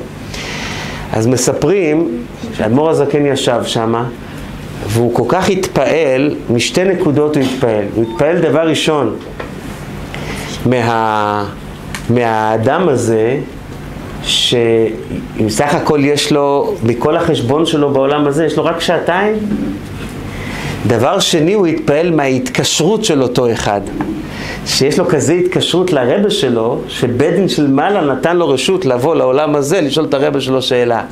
אז אמר אדמו"ר הזקן, אני רוצה להשתדך עם צאצאים של אותו אחד. אז, אז הוא לקח לבת שלו את הבן של אותו אחד. אז היה הבת שלו המיוחדת, אה, שהייתה אימא של הצמח צדק, הרבנית דבורה לאה, היא התחתנה עם הרב שלום שכנה, שהיה הבן של אותו חסיד שנפטר, שהיה שעתיים גיהנום.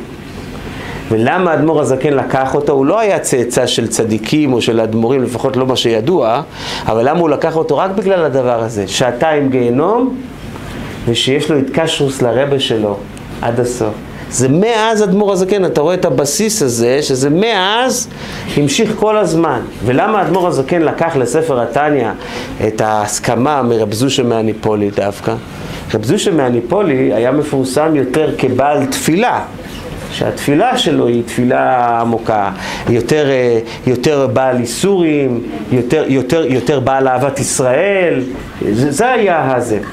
הסיבה שהוא הלך אליו דווקא, מכיוון שכשהמגיד ממזריץ' חלה, חלה, וכבר רעייתו השנייה של המגיד נפטרה, אז רב זושה מהניפולי אמר, אני לוקח את הרבה אליי הביתה. איפה הוא היה גר? באניפולי. אז הוא לקח את הרבה אליו לאניפולי. כשהוא הגיע לאניפולי, אז, אז, אז היה שם, כמו שאומרים, אה, אה, אה, חשש מאיזושהי מגפות, כל מיני קורונות כאלה, פחדו. אז המושל של הניפולי, כשהוא ראה שהמגיד ממזריץ' חולה, הוא אמר שהוא לא מוכן להכניס יהוד, אדם חולה לעיירה שלו כדי שלא, שלא תהיה מגפה.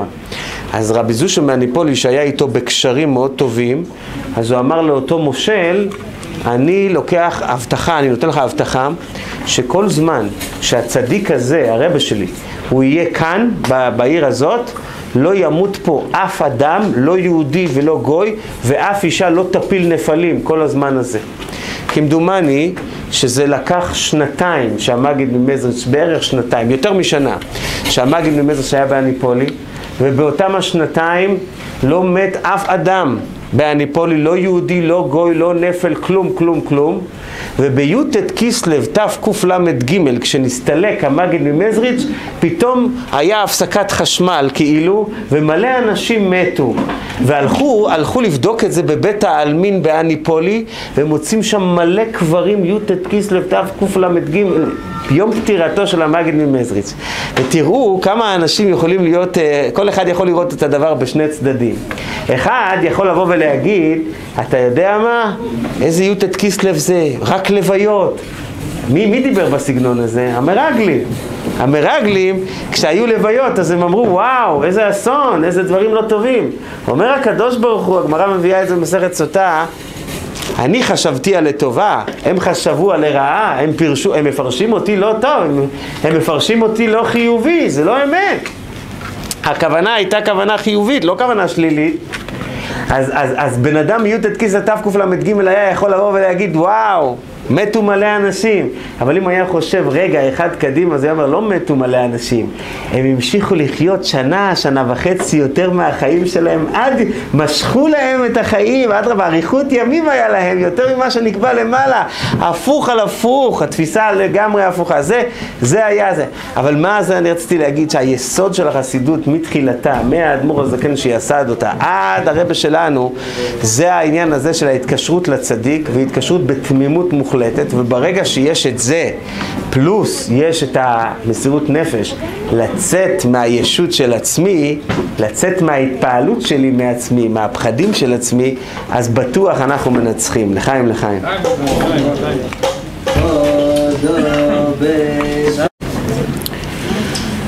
היה חסיד בתקופה של הקומוניסטים, ש... כולם היו חייבים לעבוד. אם אתה לא עובד אתה פרזיט. אם אתה פרזיט אין לך זכות קיום. אבל אותו חסיד זכה למצוא מקום עבודה שאין לו בעיה לעבוד בשבת. בכלל החסידים ניסו לעבוד עבודות עצמאיות כדי לא לעבוד בשבת. אבל עבודה עצמאית זה היה יותר קשה להשתכר בעבודה עצמאית, אז היו נאלצו לעבוד במפעלים. אז הוא מצא מפעל של, של מנהל, לא היה בעל הבית יהודי, בעל הבית, רק המדינה הייתה בעל הבית, אבל זה היה מפעל שה, שבעל, שהמנהל הוא יהודי, אבל יהודי קומוניסטי. אבל כמו שאתם יודעים, גם יהודי קומוניסטי יש לו לב יהודי חם מתחת למה ש, שנראה על פני השטח. והיהודי הזה סיכם עם החסיד שהוא יוכל, יוכל אה, לא לעבוד בשבת. אז הוא היה בשבת, לא מגיע למפעל בכלל, ואילו ביום ראשון, שזה היה יום החופש הרשמי, הוא היה משלים את העבודה, היה בא למפעל לבד, ומשלים את העבודה של שישי אחרי צהריים ושבת. מה שקרה זה שהודיעו מראש שהולך להיות איזושהי אה, ביקורת. ביקורת מפחידה של המדינה וכולו וכולו, אז המנהל עבודה, שעם כל אה, טוב ליבו, הוא היה קומוניסט, הוא אומר לחסיד, אתה חייב לבוא בשבת הקרובה מכיוון שיש ביקורת. אומר לו החסיד, מה זאת אומרת? שאני אוותר על תפילה, על מניין, על קריאת התורה, על לימוד, אני אוותר ואהיה במפעל? אני לא מדבר שאני לחלל שבת אני לא אחלל, אבל אפילו רק לבוא למפעל מופרך לי לחלוטין, אני לא מתכוון לעשות את זה, אני לא אעשה את זה. אומר לו הקומוניסט, אם אתה לא תעשה את זה, אני אפטר אותך, ואז לא יהיה לך מה, מה לאכול. אז היהודי החסיד החליט שהוא לא מתייחס לא מתחשב ולא בא לעבודה שישי אחרי צהריים שבת, יום ראשון בא כרגיל, עשה את העבודה שלו והקומוניסט הזה העלים עין, לא, לא הזכיר כלום, אבל איך אומרים, היחסים ביניהם הלכו ונעשו לא נעימים ואחרי תקופה אותו מנהל קומוניסט עזב את העבודה של הניהול, הלך למקום אחר ונכנס אה, מנהל עבודה אחר. אחרי שנים החסיד יושב בהתוועדות חסידית בין חסידים ויש שם יהודי נוסף שהוא לא מכיר אותו והוא מספר את הסיפור שלו החסיד ואז היהודי השני מתעורר ואומר לו, ומי זה היה מנהל עבודה שלך? זה אני הייתי. ובוא אני אספר לך את ההמשך של הסיפור. אחרי שאני ראיתי כמה אתה לא מתחשב וכמה אתה לא מתפעל, התעוררה בי נקודת היהדות. והנקודת היהדות פעלה עליי שאני לא יוכל להמשיך את החיים שלי כתקנן כמו שהם, והוא עשה תשובה, הפך להיות חסיד. נמצא ככה, שה-DNA של יהודי זה העקשנות החיובית, שהוא עומד על שלו, והוא עומד על שלו עד הסוף, בענייני קדושה כמובן. למעליותא. למעליותא, כן, עם קשה עורף למעליותא. כן. זה אומר את זה גם ה... ביאטסנה, כן, כן, כן, ועל חובת התלמידים, כן. אז זה, כן, כן. אז זה דבר שהוא מאוד מאוד מאוד יסודי. אם אתה רוצה לעורר יהודי, אז תעמוד עם האמת שלך, ותעמוד עם האמת שלך עד הסוף, ואל תתפעל משום דבר. עכשיו, אנחנו נמצאים, אם אנחנו מדברים על י"ב י"ג תמוז, חג גאולה, ודיברנו קודם על שאדם צריך לגאול את עצמו מעצמו, אז מוריי ורבותיי, אחד מהדברים הכי קשים שבן אדם צריך לגאול את עצמו מעצמו, זה מהחיפוש שלו בתשומת לב. בן אדם מחפש תשומת לב. האדם מחפש שישימו לב שהוא נמצא. האדם מחפש שישימו לב שהוא לא שקוף. שישימו לב לנוכחות שלו, שייתנו לו, שיפרגנו לו, שיגידו לו מילה טובה. זה טבעו של אדם. באה החסידות והיא חינכה את כל התלמידים שלה, תפסיקו להתלהב מתשומת לב. תפסיקו להתרגש. אני זוכר שתמיד ככה, על זה גדלנו. אתה בא לרבה, אתה עומד מול הפנים הקדושות שלו, אם הרבה נותן לך תשומת לב, סימן שהמצב שלך לא טוב. אם הרבה לא נותן לך תשומת לב, אז יכול להיות שאתה בסדר. הרבה מקרב את מי שצריך קירוב. אם אתה צריך תשומת לב, זה פוי. אם אתה לא צריך תשומת לב, זה בסדר. לפעמים אנחנו קצת מתבלבלים. מחייכים לנו, מאירים לנו פנים, עושים לנו תנועת יד. עושים יחי. וכולו. אז כל, הת... כל זה גורם לאדם תחושה, איזה יופי, חיבקו אותי. אבל את החסידים תמיד חינכו, אל תחכה לחיבוקים. עכשיו אני רוצה לומר לכם, זה לא המצאה, זה דבר שהיה מאז ומקדם. נכנס לרבה הצמח צדק חסיד אחד ביחידות. אומר לו הצמח צדק, תשמע, באזור איפה שאתה גר יש פריץ אחד, כולם ידעו שהפריץ הזה זה פריץ גוי, ולא סתם שהוא גוי, אלא גוי מושחת, ולא סתם מושחת, אלא שונא ישראל. משהו כזה, כן. תלך אליו ותגיד לו ככה, שאני אמרתי לו, שאני אמרתי שהגיע הזמן, תגיד את השם שלי, שאני אמרתי שהגיע הזמן לחזור בתשובה.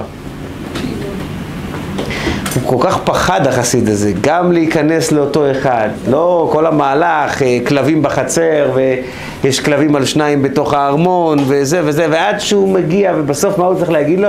שהרבה עצמך צדק אמר שאתה, הגיע הזמן לעשות תשובה. למי אני אומר לעשות תשובה? לפרא האדם הזה?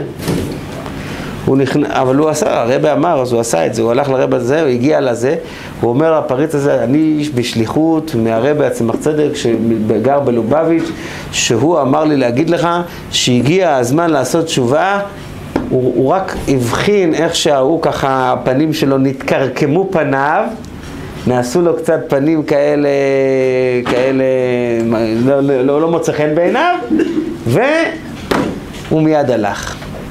עברו כמה חודשים, הגיע ללובביץ' איזה עני מצומק עם תרמיל, מי זה היה? הפריץ הזה. מתברר שהפריץ הזה היה יהודי, וזה היה יהודי שכמו שאומרים, אה, מהנשמות של העובדים והנידחים, שלום עליכם, מהעובדים והנידחים, כן? והחסיד הזה, או בשליחות עצמם הצדק, עורר אותו, הוא חזר בתשובה שלמה. ואז זקני החסידים ששמעו את הסיפור הזה, הלכו לרבי הצמח צדק ואמרו לו, רבי, אנחנו רוצים להבין מילה אחת שלך, ואתה לקחת אדם שנמצא, איך אומרים, לפחות לעינינו רחוק מאוד, והחזרת אותו בתשובה. אנחנו מסתובבים סביבך, ואנחנו מחכים, מחכים ומצפים לתיקון הנשמה שלנו. ואנחנו רוצים לעלות מלמעלה, מלמטה למעלה, ואנחנו עמלים על כך. למה לא תגיד לנו מילה אחת ותוציא אותנו מההלם אל הגילוי? זה מה שהם שאלו.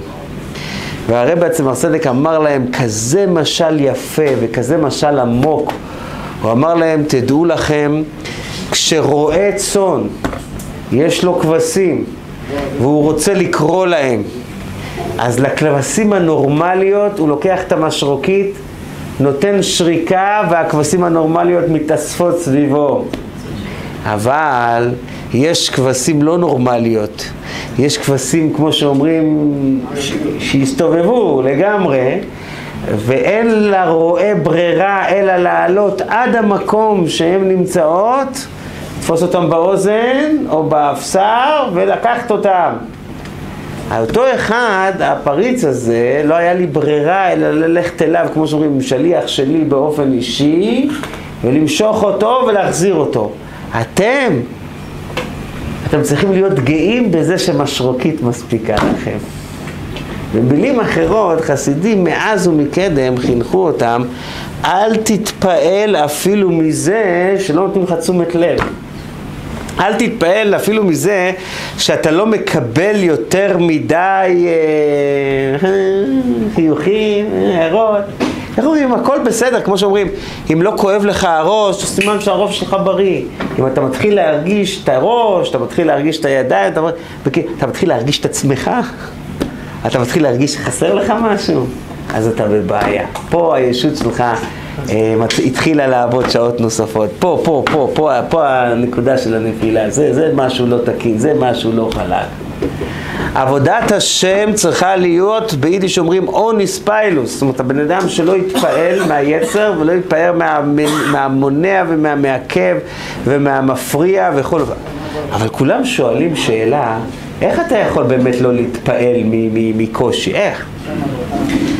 אז גם את זה חסידים אמרו, חסידים שהיו ברוסיה והיו בכלא וספגו מכות וספגו בדידות ולא של יום ויומיים וחודש וחודשיים אלא של שנים ארוכות, הם אמרו ככה. ואני חושב שזה כלל ש, שכל אחד יכול לחיות איתו ביום יום כשיש לו איזשהו קושי. הם אמרו דבר ראשון, מה שהחזיק אותם זה האהבה שהם ידעו שיש, אה, שהמשפחה שלהם מחכה להם ושאוהבים אותם, זה דבר אחד. זה מה שהייתי אומר, שהנקודה הזאת היא נקודה טבעית, בהמית, לכל אחד שמרגיש שמחכים לו, שאוהבים אותו, אז הוא יכול להחזיק מעמד. אבל הנקודה השנייה, הם אמרו שהם כל הזמן היו חיים את אותו הרגע שהם נמצאים. עכשיו, בא לך איזו מחשבה קשה, איזושהי מחשבה של אה, אה, אה, נפילת הרוח גדולה, אז הוא אומר, אתה יודע מה, אני אתגבר על, ה, על, ה, על המחשבה הזאת רק, רק דקה אחת. ואחרי הדקה הוא חידש את המחשבה הזאת לעוד דקה. ואחרי העוד דקה הוא חידש את זה לעוד דקה, וככה הלאה, וככה הוא הצליח, כמו שאומרים. פעם שאלו את אחד מה, מהגדולים בדור הזה, את הרב אלישיב, שאלו פעם, איך אתה יכול ללמוד כל כך הרבה שעות ואתה לא מתעייף? איך אתה יכול ללמוד כך שעות באמצע הלילה? איך אתה יכול ללמוד כך הרבה שעות ואין לך חברותה? איך אתה מצליח? אז הוא אמר להם שבאמת היה לו קשה מאוד בהתחלה. אומר, היה לי קשה מאוד. אבל תמיד אמרתי לעצמי, רק לחמש דקות. אני לומד רק לחמש דקות. אחר כך עוד חמש דקות. ואחר כך עוד חמש דקות. בן אדם מגיע הביתה אחרי העבודה. הוא רואה כזו ספרייה גדולה ויפה, כל כך הרבה ספרים קורצים, אבל מהצד השני יש גם עיתון שקורץ, או איזה ידיעון, או איזה עלון, או לא יודע, או איזה משהו כזה בפלאפון שנותן לך כל הזמן חדשות. אז אתה בא ואתה אומר, איזה ספר אני אקח עכשיו? מה, אני אקח אה, צמח צדק חידושים על הש"ס? מה אני אקח עכשיו? אני אקח עכשיו זה, מאמורים של הרבה, מאמור, אולי המאמורים של הרבה הרייץ, אולי זה... אז יש לך כל כך הרבה בחירה, אתה יודע מה, אתה יודע מה, אני לא אפתח כלום. אני אקח את העיתון, זה יותר זמין, זה יותר קליט. אני אקח משהו שהוא זמין יותר, משהו קליט יותר.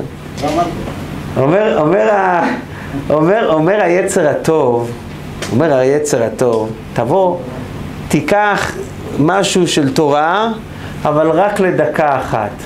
קח אותו רק לדקה. רואים בפועל ממש, שכשבן אדם אומר רק לדקה, הוא עובר את המשוכה הראשונה של הקושי הפסיכולוגי, של ה... עכשיו אני כל כך עייף וזה וזה, אחרי שהוא עובר את זה, באה הדקה השנייה והדקה השלישית והדקה הרביעית.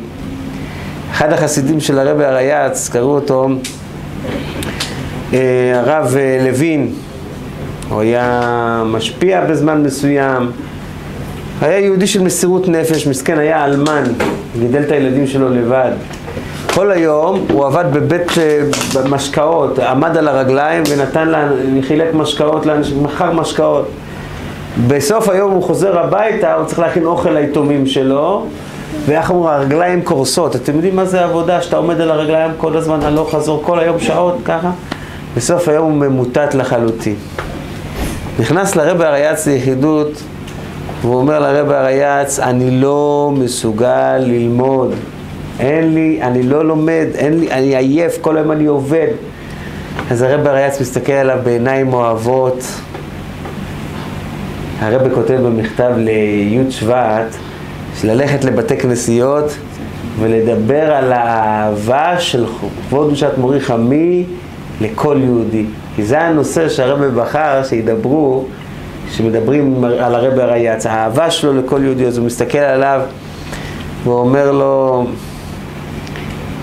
תפתח את הספר ותתחיל לקרוא. ואז הוא הוסיף משפט, שלנו זה נראה מוזר, אבל אם היינו יודעים על איזה סדר גודל של חסיד ועל איזה יכולות שיש לאדם, הוא אומר לו ככה, בשעות הראשונות יהיה לך קשה, אבל אחרי כמה שעות אתה תראה שזה רץ קדימה, לא תרגיש קושי. אני זוכר את זה עוד פעם ועוד פעם, בשעות הראשונות יהיה לך קשה. בן אדם מת כולו, רגליים עייפות, ראש אפוף מלא מים, לא מצליח להתרכז בשום דבר. אומר לו הרב, אז תפתח את הספר. בשעות הראשונות זה יהיה קשה, אחר כך זה כבר יהיה קל. כמה כוחות יש לבן אדם? כמה כוחות שבן אדם יכול לעלות ולהתגבר, אבל זה צריך להיות בתנאי שהוא לא מתרגש מהצער, הוא לא מתרגש מהקושי, לא מתפעל מזה, מתקדם הלאה. הרב באחת השיחות דיבר על התקופה הקשה, האפלה בעם היהודי, שהיה גזרות קנטוניסטים. ילדים קטנים, לוקחים אותם בגיל 4 ו-5 ו-6, 25 שנה הם עובדים את הצער, אחר כך הם מקבלים פנסיה לכל החיים, אבל הם בעצם עקורים מהדת שלהם, מהאמונה שלהם, מהמשפחות שלהם, הם לא יודעים אפילו לאן לחזור. והרבא שאל בהתוועדות, למה עשה השם ככה? זאת אומרת, איך זה יכול להיות? יהודי רוצה לשמור תורה ומצוות, יהודי רוצה לעשות רוצן השם, בסך הכל מה הוא רוצה? לוקחים אותו, גוזלים אותו בבית של ההורים שלו, מאכילים אותו 25 שנה, אתם יכולים להבין לבד שהם לא אכלו 25 שנה חמין של בית, בית כנסת בתל ציון. הם, הם, הם אכלו שם נבלות וטרפות, זה מה שהיה. הם חיללו שבת. אתה, אתה, אתה מאלץ אותי בכוח לא לעשות רוצן השם. איך יכול להיות שהקדוש ברוך הוא עשה דבר כזה? הרב שאל. אז הרב אמר שישנו מאמר של הרב האמצעי שעדיין לא נתפס, ומאז הוא כבר נתפס. הוא מודפס בספר מאמורים קונטרייסים של הרב האמצעי, והרב האמצעי שואל את השאלה הזאת שם, והרב חזר בשיחה על המענה של הרב האמצעי שהוא גם בשבילנו אקטואלי. הרב האמצעי אמר שהצער שיש ליהודי מזה שהוא לא הספיק שהוא לא יכל, שהוא לא, הוא רצה לשמור שבת והוא לא יכל לשמור שבת, הוא רצה ללמוד תורה, כמו שאומרים הילדים בבר מצווה, במאמר, אנחנו רוצים ללמוד תורה יומם ולילה, אבל אין לנו פנאי. אבל למה הם אומרים את זה? הכאב הזה. אז אמר הרבי האמצעי דברים מפחידים. הוא אמר, זה הצער שיש ליהודי מזה שהוא לא יכול לעשות משהו יקר בעיני הקדוש ברוך הוא יותר מאשר המצווה שהוא יקיים. לרגע אתה חושב, אבל לא שמרתי, לא קיימתי, לא עשיתי. זה יקר בעיני הקדוש ברוך הוא עוד יותר מאשר אלה שעשו, עוד יותר. זה פלא פלאות. כשעלו היהודים פה לארץ מגרוזיה, שגם גרוזיה הייתה תחת השלטון של הקומוניסטים, כשהם היו שם, שם היה קל יותר, קצת קל יותר לשמור תורה ומצוות, מי שברח לשם היה יכול לשמור קצת יותר, אבל גם להם היו באים, מנסים לסגור להם את הבתי כנסיות, מנסים להרוס להם את הבתי כנסיות. אני שמעתי מיהודי גרוזיני שהוא זוכר שאבא שלו סיפר לו שהם שכבו תחת הגלגלים של, של הטרקטור, ככה, תחת כל שכב יהודי, לא לתת אפשרות להרוס את בית הכנסת, וככה הם הצליחו לשמור את הבתי כנסיות שלהם. אז הרב סיפר עליהם שכשהם הגיעו לארץ, אז פה במדינת ישראל עשו החלטה שליהודים הגרוזינים נותנים 20 אחוז, יפנו אותם לכיוון של תורה ומצוות, לכיוון של מוסדות דתיים, 20 אחוז, ו-80 אחוז, אמר הרבי, יעשו להם את מה שעשו לכל אלה שבאו קודם, ככה הרבי התבטא, כאילו יעשו להם מה שעשו לאחרים. אבל כיוון שהגרוזינים, ככה הרבי החמיא להם, כיוון שהם עם קשה עורף, והם עמדו על זה חזק, והם לא ויתרו, אז הסוכנות וכל האנשים של הזה נכנעו להם, ולא היה ברירה, ונתנו להם לעשות מה שהם רוצים. אומר הרבי, למה? מכיוון שאפילו שהם היו עולים חדשים, ואפילו שלכאורה עולה חדש יש לו תנועת נפש אה, של מסכן, נמוך, אבל הם לא התפעלו. אתה מגיע למקום, יש לך את האמונה שלך, אתה לא מתפעל. העולם הזה עולם שמחפש כל הזמן ריגושים, האנשים כל הזמן מחפשים ריגושים. הייתי אומר שלא היה לעולמים ריגושים כמו שהאנשים מחפשים אותם היום. זה רק, זה רק מוכיח שאנשים מחפשים תוכן בחיים. מחפשים תוכן. אז הם כבר לא מצאו תוכן בכל מה שמסביב, כי העולם נעשה קטן, אתה רואה הכל, שומע הכל, אז הם מחפשים ריגושים מעבר. יש כל מיני אנשים שמוכנים לסכן את החיים שלהם, לסכן את החיים שלהם בדברים, לא יודע, דברים איומים. אדם הולך, עולה, מטפס על איזושהי חומה, שכדי, והוא הולך ככה, מחזיק רק בידיים שלו, רק עם האצבעות, והולך על כל החומה מרחק של, לא יודע, קילומטר. כל שנייה, אם הוא עוזב עם היד, טראח, נופל למטה לתהום פעורה. הוא עושה את זה. הוא עושה את זה כדי להרגיש שהוא חזק, כדי לקבל ריגוש וכו'. אז שאלו אחד כזה פעם... לקבל כסף. אה, כסף, הופעות, כן. ש... איך, אתה, איך אתה מסוגל? איך אתה מסוגל לעשות את זה ולא ליפול ולא זה, ואתה עושה... הוא אומר, תדעו לכם, כמו שאתם הולכים על המדרכה ואתם הולכים לבטח, אתם לא מרגישים שאתם עושים פה איזשהו משהו יוצא דופן או משהו מסוכן? למה? כל כך הרבה פעמים התאמנתם בהליכה, כל כך הרבה פעמים התאמנתם בניסיון, אז אין לכם בעיה, על המדרכה אתם הולכים בלי לחשוב אפילו. ככה ויותר מככה, אני התאמנתי בללכת ככה על החומה. אני לא צריך לחשוב על זה בכלל, זה בטוח לי, אני נמצא בכזה עוצמה של בטוח, כמו שאתם בהליכה על הרגליים על המדרכה. כל כך הרבה פעמים אני התאמנתי. וכשראיתי את זה, הבנתי כמה דורשת מאיתנו התורה להתאמן בעניינים של תורה, בעניינים של מצוות, כדי שזה ייכנס לך בתוך הנשמה, כדי שהעולם הזה והקשיים שלו והמים רבים שלו לא יגרמו לך שום התפעלות משום דבר. הוא נמצא על קצה של חומה, עוד שנייה הוא נופל. והוא בכלל לא מתפעל. למה? כי הוא בטוח שהוא יצליח לעשות את זה. אין לו שום ספק שהוא יצליח לעשות את זה. אין פה שום שאלה שהוא יצליח לעשות את זה. הוא נמצא בעוצמה. איזה עץ מסמל הכי חזק את ארץ ישראל? עץ הזית. הזית זה העץ הגזעי, זה העץ שלא מקבל הרכבות של מינים אחרים, זה עץ הכי, איפה הוא גודל הכי הרבה? באזור, באזור הצפון, זה האזור של שבט אשר, שם גודל, גודלים הזיתים. עץ הזית, השורשים שלו, הם שורשים כל כך חזקים שהם מצליחים לחדור לתוך הסלעים. מי, ש, מי שראה, חודרים לתוך הסלעים, הם מפוררים אפילו את הסלעים. עכשיו, מה מיוחד בעולם העצים כי האדם עץ השדה? בעולם העצים יש דבר מדהים. אם אתה משקה את העץ, משקה אותו, משקה אותו, משקה אותו, הרבה, אם תבוא רוח חזקה, הוא יעוף, הוא לא יחזיק מעמד. אם אתה לא משקה אותו, אז הוא מחפש בעצמו מקורות מים, ואז השורשים שלו הולכים רחוק יותר ורחוק יותר, והוא נתפס במציאות יותר חזק, ואז כל רוחות שבעולם לא, מעיפ, לא מעיפות אותו.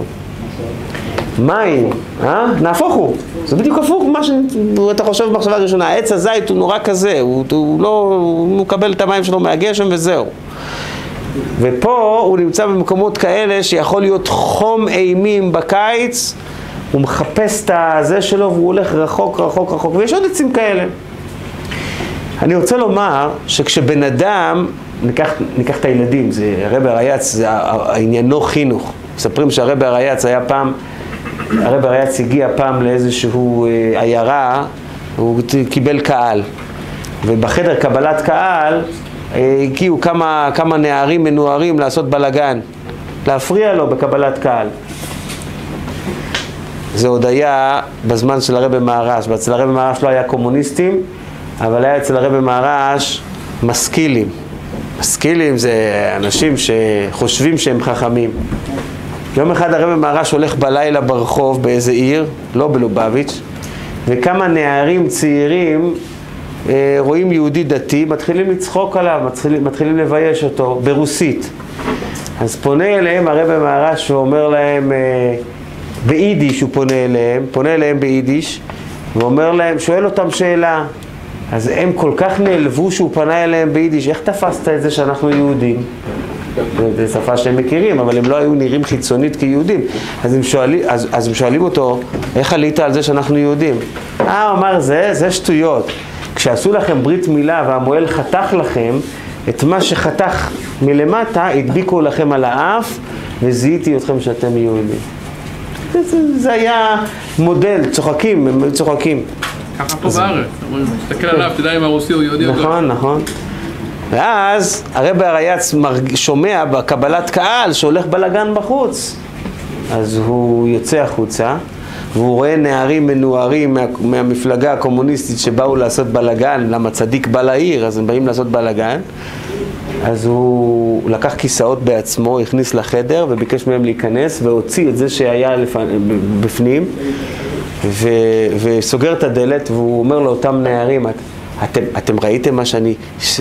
ש... שסילקתי את כולם והכנסתי אתכם ראשונים? אתם ראיתם את זה? אוקיי? אתם יודעים למה? הם אומרים לו לא. אומר, אני אגיד לכם למה.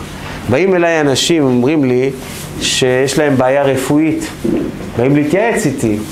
אני לא מבין בכלל למה הם באו, אני לא רופא, אני לא יודע לענות על השאלות האלה. כך הוא אמר להם. באים אליי אנשים שיש להם משפטים, מתייעצים איתי. מה, הם חושבים שאני עורך דין? אני לא יודע, אני לא יודע מה, מה הם רוצים ממני. באים אנשים, מתייעצים איתי במסחר שלהם. אני סוחר? אני לא מתעסק במסחר בכלל. מה הם באים אליי בכלל? אז לכן, אני, איך אומרים, עונה להם מאהבת ישראל, אבל זה...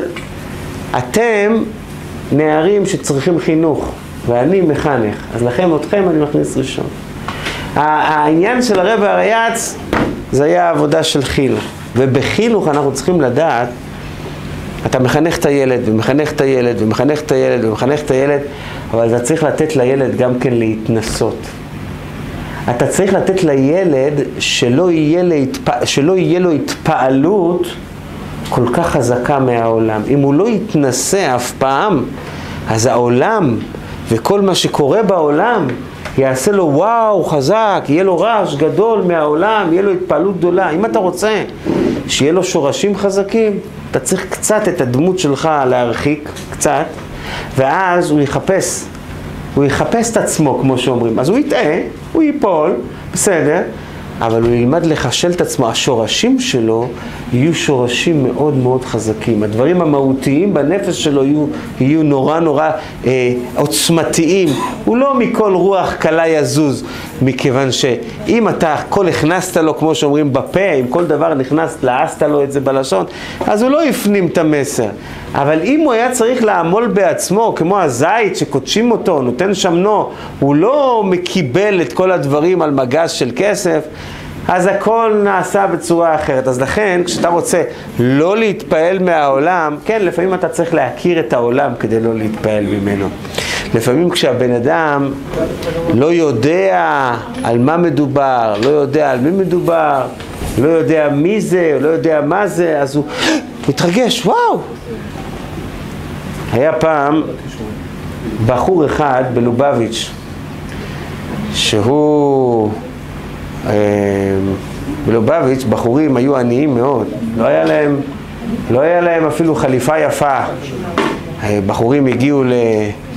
לעונת השידוכים, אז איך הם, אה, איך הם ייפגשו עם נערה, צריך להתלבש יפה.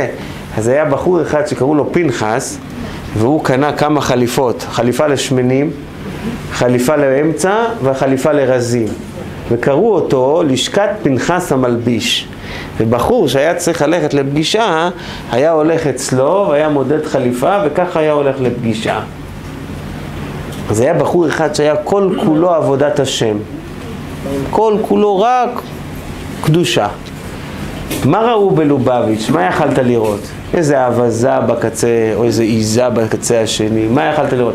לובביץ' זה עיירה שעד עכשיו, עד היום, היא לא מחוברת עדיין לניקוז, והמים, אתה צריך ללכת לשאוב מים מהבאר. זה עיירה של פעם. אז אותו בחור הלך, לבש את החליפה של פנחס המלביש, והלך להיפגש עם איזושהי בחורה בחדר, לא היה שם מלונות, בלובביץ', זה, זה חדר, שם הוא הלך להיפגש. הוא נכנס לחדר, והוא מסתכל, והוא יוצא, ביידיש אומר, אוי, המיידל, יש שם בחורה. הוא ברח החוצה. אז שאלו אותו, ממה אתה כל כך מתרגש? מה אתה כל כך מתפעל? מה, מה, אתה לא הבנת שאתה הולך לפגישה עם, עם אישה? לא הבנת את העניין? אז, אה, אז הוא אמר, אתם יודעים מה, אתם צודקים. אבל גם פעם שנייה שהוא נכנס, היה לו מין אה, כזה רתיעה, עד, ש, עד, שהוא, עד שהוא, כמו שאומרים, התיישב בדעתו, שבסדר. הוא דיבר איתה, ואותה בחורה, היא, היא, היא כל כך התפעלה שהוא כזה ירא שמיים, כזה, איך אומרים, מופשט, שהיא דווקא אותו רצתה. זה, איך אומרים, זה משהו... הפוך על הפוך. הפוך על הפוך, היא רצתה אותו, יישר כוח, תודה, וואו. אז אה, זה ה... זה, זה, אני רוצה להגיד, בן אדם באיזשהו מקום צריך להכיר גם את העולם ברובד מסוים, אבל לדעת את העולם ולהתכוון למרוד בו. לדעת את העולם ולא להתפעל ממנו, לדעת את העולם ולהישאר תמים. לדעת את העולם ולהישאר תמים. רבי יהודה החסיד מספר שהיה איזה יהודי מקסים, שהוא היה רועה צאן, והוא פנה פעם אחת לקדוש ברוך הוא בתפילה ואומר, ריבונו של עולם, אתה יודע כמה אני אוהב אותך. אם היו לך כבשים הייתי רואה אותם בחינם. ככה. אני כל כך אוהב אותך, הייתי רואה את הכבשים, אתה יודע מה, בשבילך הקדוש ברוך הוא, כבוד הרב, בשבילך בחינם. בשבילך אני נעשה בחינם. תמימות כזאת, תמימות פשוטה כזאת של יהודי, שהוא לא מתפעל ממה יגידו, הוא לא מתפעל מאיך ייראה ואיך ייתפס, זה תופס את הקדוש ברוך הוא הכי חזק. היה יהודי אחד שהצליח להוריד גשם אחרי הרבה זמן שלא ירד גשם והבעל שם טוב, שאלו את הבעל שם טוב, הבעל שם טוב אמר שהוא התפלל, בתפילה שלו הוא אמר במילים ועצר את השמיים ולא יהיה מטר הוא קרא את זה ככה. ועצר את השמיים, הוא פירש כמו או, לעצור את בית הבד, לעצור. ועצר את השמיים, אם הקדוש ברוך הוא עוצר את השמיים, הוא סוחט אותם כאילו, ולא יהיה מטר, הוא שם שם סימן שאלה, לא יהיה גשם, ככה הוא קרא, והקדוש ברוך הוא אמר, וואו, איך אומרים? קניתי את זה, והוריד גשם. בן אדם, הוא יודע טוב מאוד את העולם, בן אדם צריך לדעת את העולם. אבל מצד שני, עם כל זה שהוא יודע את העולם, צריך להיות לו, להישאר לו, כן, אבל עם כל זה יש משהו מעבר לכל מה שנראה על פניו, יש משהו שהוא הרבה הרבה יותר חזק, הרבה יותר עוצמתי, הרבה יותר... אה, היה יהודי בן 94, ש... נו, בן 94, מה אתה רוצה? אבל העיניים שלו לא רואות טוב, והוא נעשה לו חושך, מסכן, בעיניים. אז הבן שלו אומר לו, אבא, בוא נלך לרופא עיניים. אז הוא אומר לו, מה פתאום רופא עיניים? למה רופא עיניים? יש סגולה שאם אתה מסתכל בנרות בשעת הקידוש, אז ה... הפסיעה הגסה לוקחת אחד מחמש מאות ממאור עיניו של אדם, וכשהאדם מסתכל על הנרות בקידוש זה חוזר. הוא אומר, קודם כל ננסה את זה, ואם זה לא ילך, נלך לרופא. אבל מה יש לי לרוץ עכשיו לרופא? הוא, איך אומרים?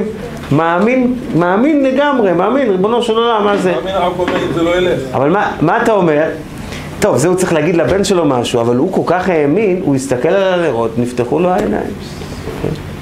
יש אמונה, אני יודע, יש רופא, יש זה, יש זה, אבל אני לא מתפעל מהקושי שעומד מול העיניים. הקושי שעומד בעולם, זה בסדר, בסדר.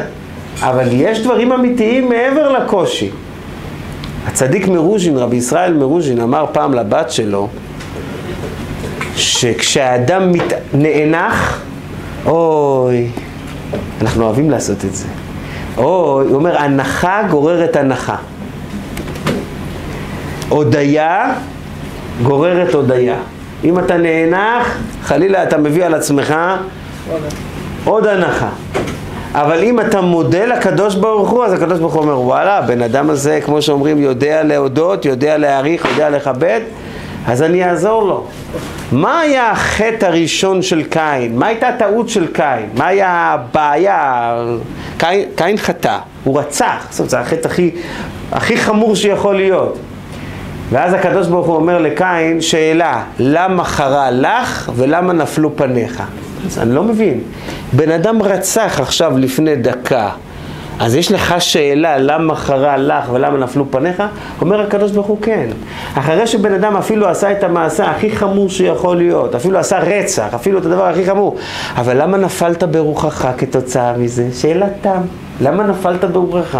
תמשיך הלאה, אפשר לקדם. זאת אומרת, הטעות הכי ראשונה של בן אדם זה שהוא התפעל מהדבר החמור שהוא עשה, הוא התפעל מהזה, וזה סותם אותו לח... לחלוטין, זה, זה, זה, זה גורם שהוא לא יוכל להתקדם.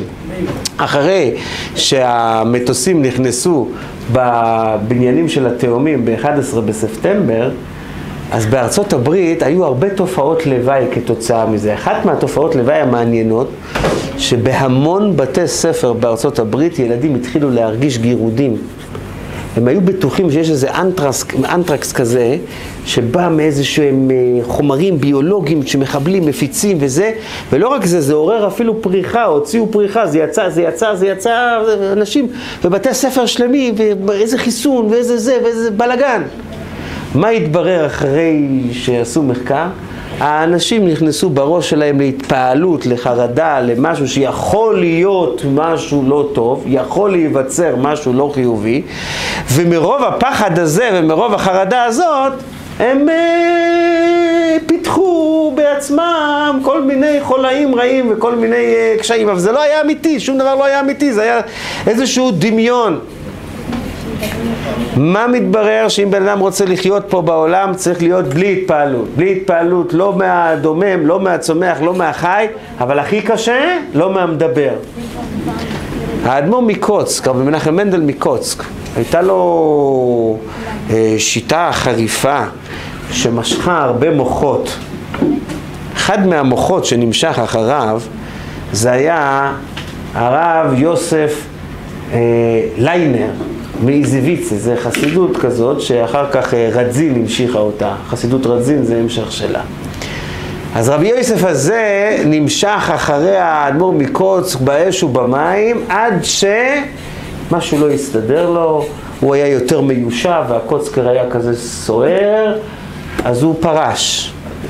אחרי שהוא פרש, באה הרבנית של הקוצקר והיא אומרת לבעלה משפט שאמור להביך אותו.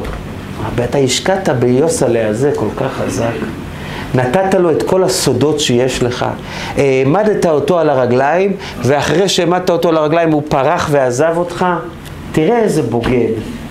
ככה היא מנסה להוריד את בעלה. אז בעלה עונה לה, אני לא מבין אותך, מה את חושבת, שאני אני גידלתי סנדלרים? אני גידלתי אנשים איכותיים, אנשים שמסוגלים בעצמם, אנשים שיש להם מעוף, אנשים שיש להם אפשרות, כמו שאומרים, להתרומם בכוח עצמם. הוא, הוא, לא, הוא לא נפל בקרבו רגע אחד אחרי שעזבו אותו. הוא אומר, ההפך. זה שעזבו אותי זה רק ראייה שיש לי עוצמות יוצאות דופן שהאנשים שהיו אצלי הם אנשים גדולים, נמשכו אליי אנשים גדולים. אז ממה אני מתפעל? אני לא מתרגש משום דבר. לא חושש לשום דבר. עם הבעל שם טוב היה אותו דבר. הבעל שם טוב יושב יום אחד ב, ב, ב, בהתוועדות אצלו, ובהתוועדות היה לו בקבוק יין לפניו, והוא חוזר איזשהו חסידות, ויושבים בשולחן גם תלמידים מקורבים וגם סתם אנשים שבאו לשמוע. ואחרי שהבעל שם טוב מסיים, התלמידים המקורבים שומעים את אלה שבאו להתאסף. חבר'ה, אתם יודעים למה העיניים שלו אדומות כל כך? הוא שותה הרבה יין. כאילו, הם לקחו את כל האווירה של הקדושה, את כל השגות של הבעל שם טוב, את כל, ה, את כל ההתרגשות הפנימית שגרמה לעיניים שלו להיות אדומות, התרגשות מאלוקות, התרגשות מהתורה, התרגשות מגילויים עליונים, את כל זה הם שמו בצד ויש יין שמה, הוא שותה מזה נעשות לו העיניים אדומות. אז התלמידים לא יכלו לסבול את זה. אז הם פנו לבעל שם טוב ואמרו לו, רבה, עד כדי כך, אומר להם הבעל שם טוב, כמו שאומרים, בלי להניד עפעף, שיש גזרה משמיים, שיש מיץ שצריך לשמוע אותך, שהשומע ישמע, והחודל יחדול. יש אנשים כאלה שהתפקיד שלהם זה לא לשמוע לך. יש אנשים כאלה שהתפקיד שלהם לא לקבל ממך. וכשם שמצווה, יש, יש, יש, איך אומרים, לא מכל אדם, אדם זוכה ללמוד, והפוך נאמר גם כן, לא את כל אחד אדם זוכה ללמד. אומר הבעל שם טוב, כשאני רואה את האנשים האלה שמדברים על היין שאני שותה והעיניים שלי נעשה אדמות, אני נעשה שמח. משום שיש אנשים שהם לא שייכים לשמוע אותי, ומכיוון שהם לא שייכים לשמוע אותי, אז זה מצווה בשבילהם להגיד עליי משהו כדי שהם יברחו. ככה, ככה, ככה הוא ראה את הדברים. אנחנו, אם יש מישהו שאומר משהו שזה ככה לא בדיוק בכיוון שלנו, לא בסגנון שלנו, אנחנו מיד נופלים בקרבנו. פעם הרבי התוועד ואמר ככה, אני לא ידעתי אם מה שאני אומר זה נכון. אתה יודע, אנחנו מבינים בנכון של הרבה, לא נכון, אבל אני יכול לחזור על מה שהוא אמר. לחזור אני יכול. אז הוא אומר ככה, אני לא ידעתי אם מה שאני אומר זה נכון או לא נכון. זה היה בנושא של שלמות הארץ. אני לא ידעתי אם זה נכון או לא נכון. אבל אחרי שראיתי מה תוקפים אותי, ושהתקיפות הן תקיפות לא ענייניות, אז נעשה לי, רווח לי. רווח לי. כי אז הבנתי שמה שאני אומר זה נכון. כי אם זה היה לא נכון, אז היו תוקפים אותי עניינית. אבל אם לא תוקפים אותי עניינית, סימן שמה שאני אומר זה נכון. אז הרב מספר לך, עכשיו הוא מספר לך את זה. הוא מספר לך את זה מאותה סיבה שהרב הרייץ מספר לנו את רשימת המאסר. כדי שאנחנו נדע להתמודד. כדי שאנחנו נבין איך צריך להסתכל על החיים, על העולם, על הדברים המוסכמים ועל הדברים הלא מוסכמים. אני ידעתי, לא ידעתי, מה הרב ידעתי ולא ידעתי, מה זה אצלו, אצלו יש לא ידעתי, אבל הוא נותן לך, כמו שאומרים, אני, היה לי ספק, אבל כשראיתי יוצאים נגדי, ואני רואה שיוצאים נגדי בצורות, איך אומרים, בלי רמה, כמו שאומרים אצלנו, בלי רמה, אז אני ידעתי שאני צודק. הלוואי שאנשים כערכנו, כשיוצאים נגדם, ויוצאים נגדם, ב, איך אומרים, בליצנות אחת שדוחה אלף תוכחות, שאנחנו לא נתרגש מזה, ואנחנו נבוא ונגיד, נו, אם זה הטענות שיש לכם, אם זה מה שיש לכם, נגיד, תלמדו מהרבה, אם זה הטענות שיש לכם, אז סימן שזה אמת. כולם מכירים את הגמרא במסכת ברכות, הגמרא מספרת על רבי עקיבא, שרבי עקיבא אה, היה, אה, אה, היה תקופה שרבן גמליאל היה הנשיא, והיה תקופה שהייתה מתיחות מסוימת בין רבן גמליאל לרבי יהושע על איזה שהם הלכות, וכתוצאה מזה רבן גמליאל אה, קצת אה, פגע בכבודו של רבי יהושע, והחכמים לא יכלו להכיל את זה. הם החליטו שהם מעבירים את רבן גמליאל מהנשיאות. ואז, אחרי שהעבירו אותו מהנשיאות, חשבו את מי ימנו לנשיא. אז uh, בהתחלה חשבו את רבי עקיבא, אבל אמרו אין לו ייחוס, אז זה לא טוב, זה מסוכן. הם אמרו, uh, קח את רבי יהושע בעצמו, אמרו זה לא מתאים כי הוא, הוא היה המן דאמר בסיפור. אז אמרו ניקח את רבי אליעזר בן עזריה, שהוא גם מיוחס, דור עשירי לעזרא הסופר, והוא גם uh, תלמיד חכם גדול. שמו אותו להיות נשיא תקופה, אחר כך רבן גמליאל השלים עם רבי יהושע, אז נתנו לזה לדרוס שבוע אחד ולזה שלושה שבועות, וככה זה היה. אבל הגמרא בירושלמי משלימה לנו משהו שלא מופיע בבבלי בברכות, מופיע בירושלמי. רבי עקיבא ראה את כל זה. רבי עקיבא ראה את כל זה שלא מינו אותו, הוא גם כן, הוא גם כן אה, קלט למה לא מינו אותו. אולי לא אמרו לו את זה בפרצון, אין לו ייחוס. הוא, קלט את זה, כן, הוא קלט את זה. וזה נורא כאב לו. ככה מספר הגמרא בירושלמי.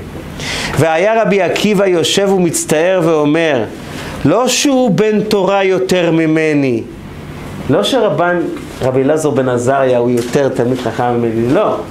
אלא מפני שהוא בן גדולים יותר ממני. ואז הוא סיים, אשרי אדם שזכו לו אבותיו. אשרי אדם שיש לו יתד להתעלות בו, והוא היה כאוב. אתה רואה, אתה רואה בניסוח של הגמרא שרבי עקיבא כאוב. תוספות במסכת ראש השנה אומר שלרבי עקיבא היה ייחוס גדול. מה היה הייחוס שלו? הרי רבי עקיבא היה בן גרים. והוא הגיע מסיסרא, וכתוב שממה נוצר רבי עקיבא? הוא נוצר מהיבבות של אם סיסרא, אותם יבבות שאנחנו כנגדם תוקעים מאה תקיעות בראש השנה, אז היא בכתה, היה לה איזושהי נקודה של אמת מסוימת. הנקודה של האמת הזאת הולידה את רבי עקיבא, יצרה את רבי עקיבא. מוריי ורבותיי, ואנחנו עם הנקודת האמת הזאת צריכים להתמודד כל שנה בראש השנה ולתקוע תקיעות, להשבית את הכאב של האימא שהרגו לה את הילד שלה. איי, היה רשע, היה מפלצת, היה מושחת, היה זה, היה זה. אבל זה היה נקודת כאב אמיתי. בא תוספות ועונה לרבי עקיבא, נכון, אין לך ייחוס, נכון, אבל הייחוס שלך זה אותם המאמצים, זה אותה נקודת אמת, זה אותה נקודת כאב. הנקודת כאב הזאת היא הייחוס שלך, והראיה שאנחנו צריכים להתמודד עם הייחוס הזה בכל שנה בשנה. אתה נוצרת בייחוס הזה ואנחנו צריכים כל הזמן מחדש, כמו שאומרים, לטפל ולהעלות ולהעלות איזשהו כוח רוחני שיעמוד נגד המקטרג הזה שעומד מולנו. אז מוריי ורבותיי, גם רבי עקיבא לא צריך להתפעל מהמצב שלו, גם מי שבבחינת רבי עקיבא לא צריך להתפעל. היי, הקדוש ברוך הוא עשה אותך ככה, אבל אנחנו לא מתפעלים. הקדוש ברוך הוא רוצה ממך את מה שהוא רוצה, ופועל ממש.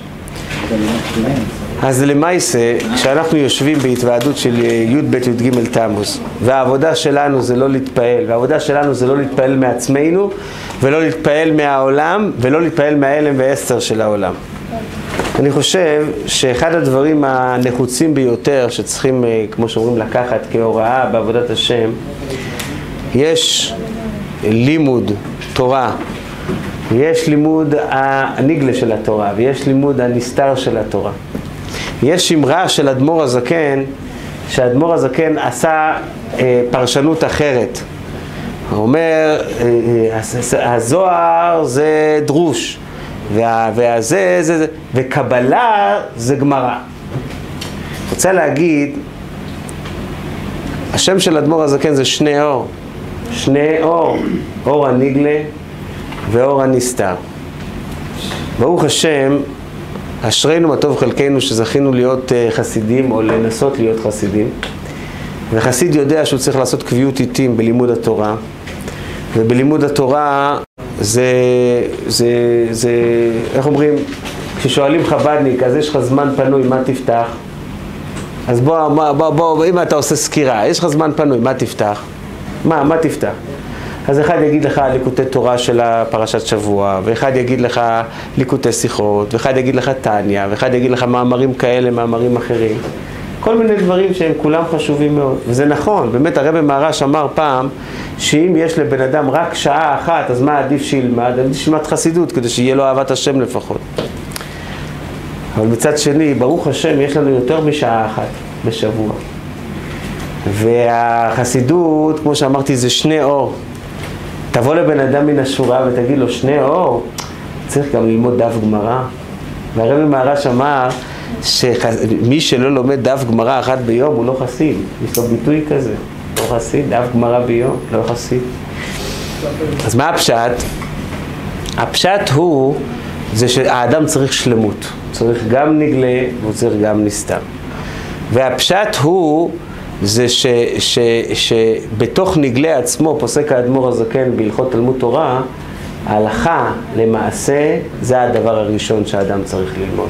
ליגמור איניש זה אומר שהאדם צריך קודם כל ללמוד את כל התורה כולה, אליבא דאילכתא, למעשה, מה שנקרא, ואחר כך לסבור. לסבור זה כבר העומק והסברות וכולו וכולו וכולו. וכשאנחנו מעיינים בגמרא, אנחנו מגלים שהליגמור וליסבור, מדובר פה על ליגמור מאוד מאוד מעשי, וליסבור, אני חושב שכל שיעור הכי קטן שאנחנו מתחילים קצת אה, להתפלפל זה כבר ליסבור. אנחנו קפצנו לליסבור לפני שעשינו את הליגמור. בקיצור, צריך לעשות אה, חיזוק בהלכה למעשה. המעלה של ההלכה למעשה היא מאוד חזקה גם בתוך עולם של חינוך שעליו דיברנו. גם בבית ג' תמוז זה עניין של חינוך. למה?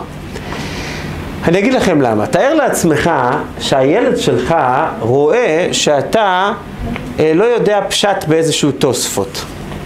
איך אומרים? נו, בסדר. לא יודע פשט בתוספות, הוא רואה שגם המורה שלו לפעמים קצת מתבלבל בפשט של תוספות.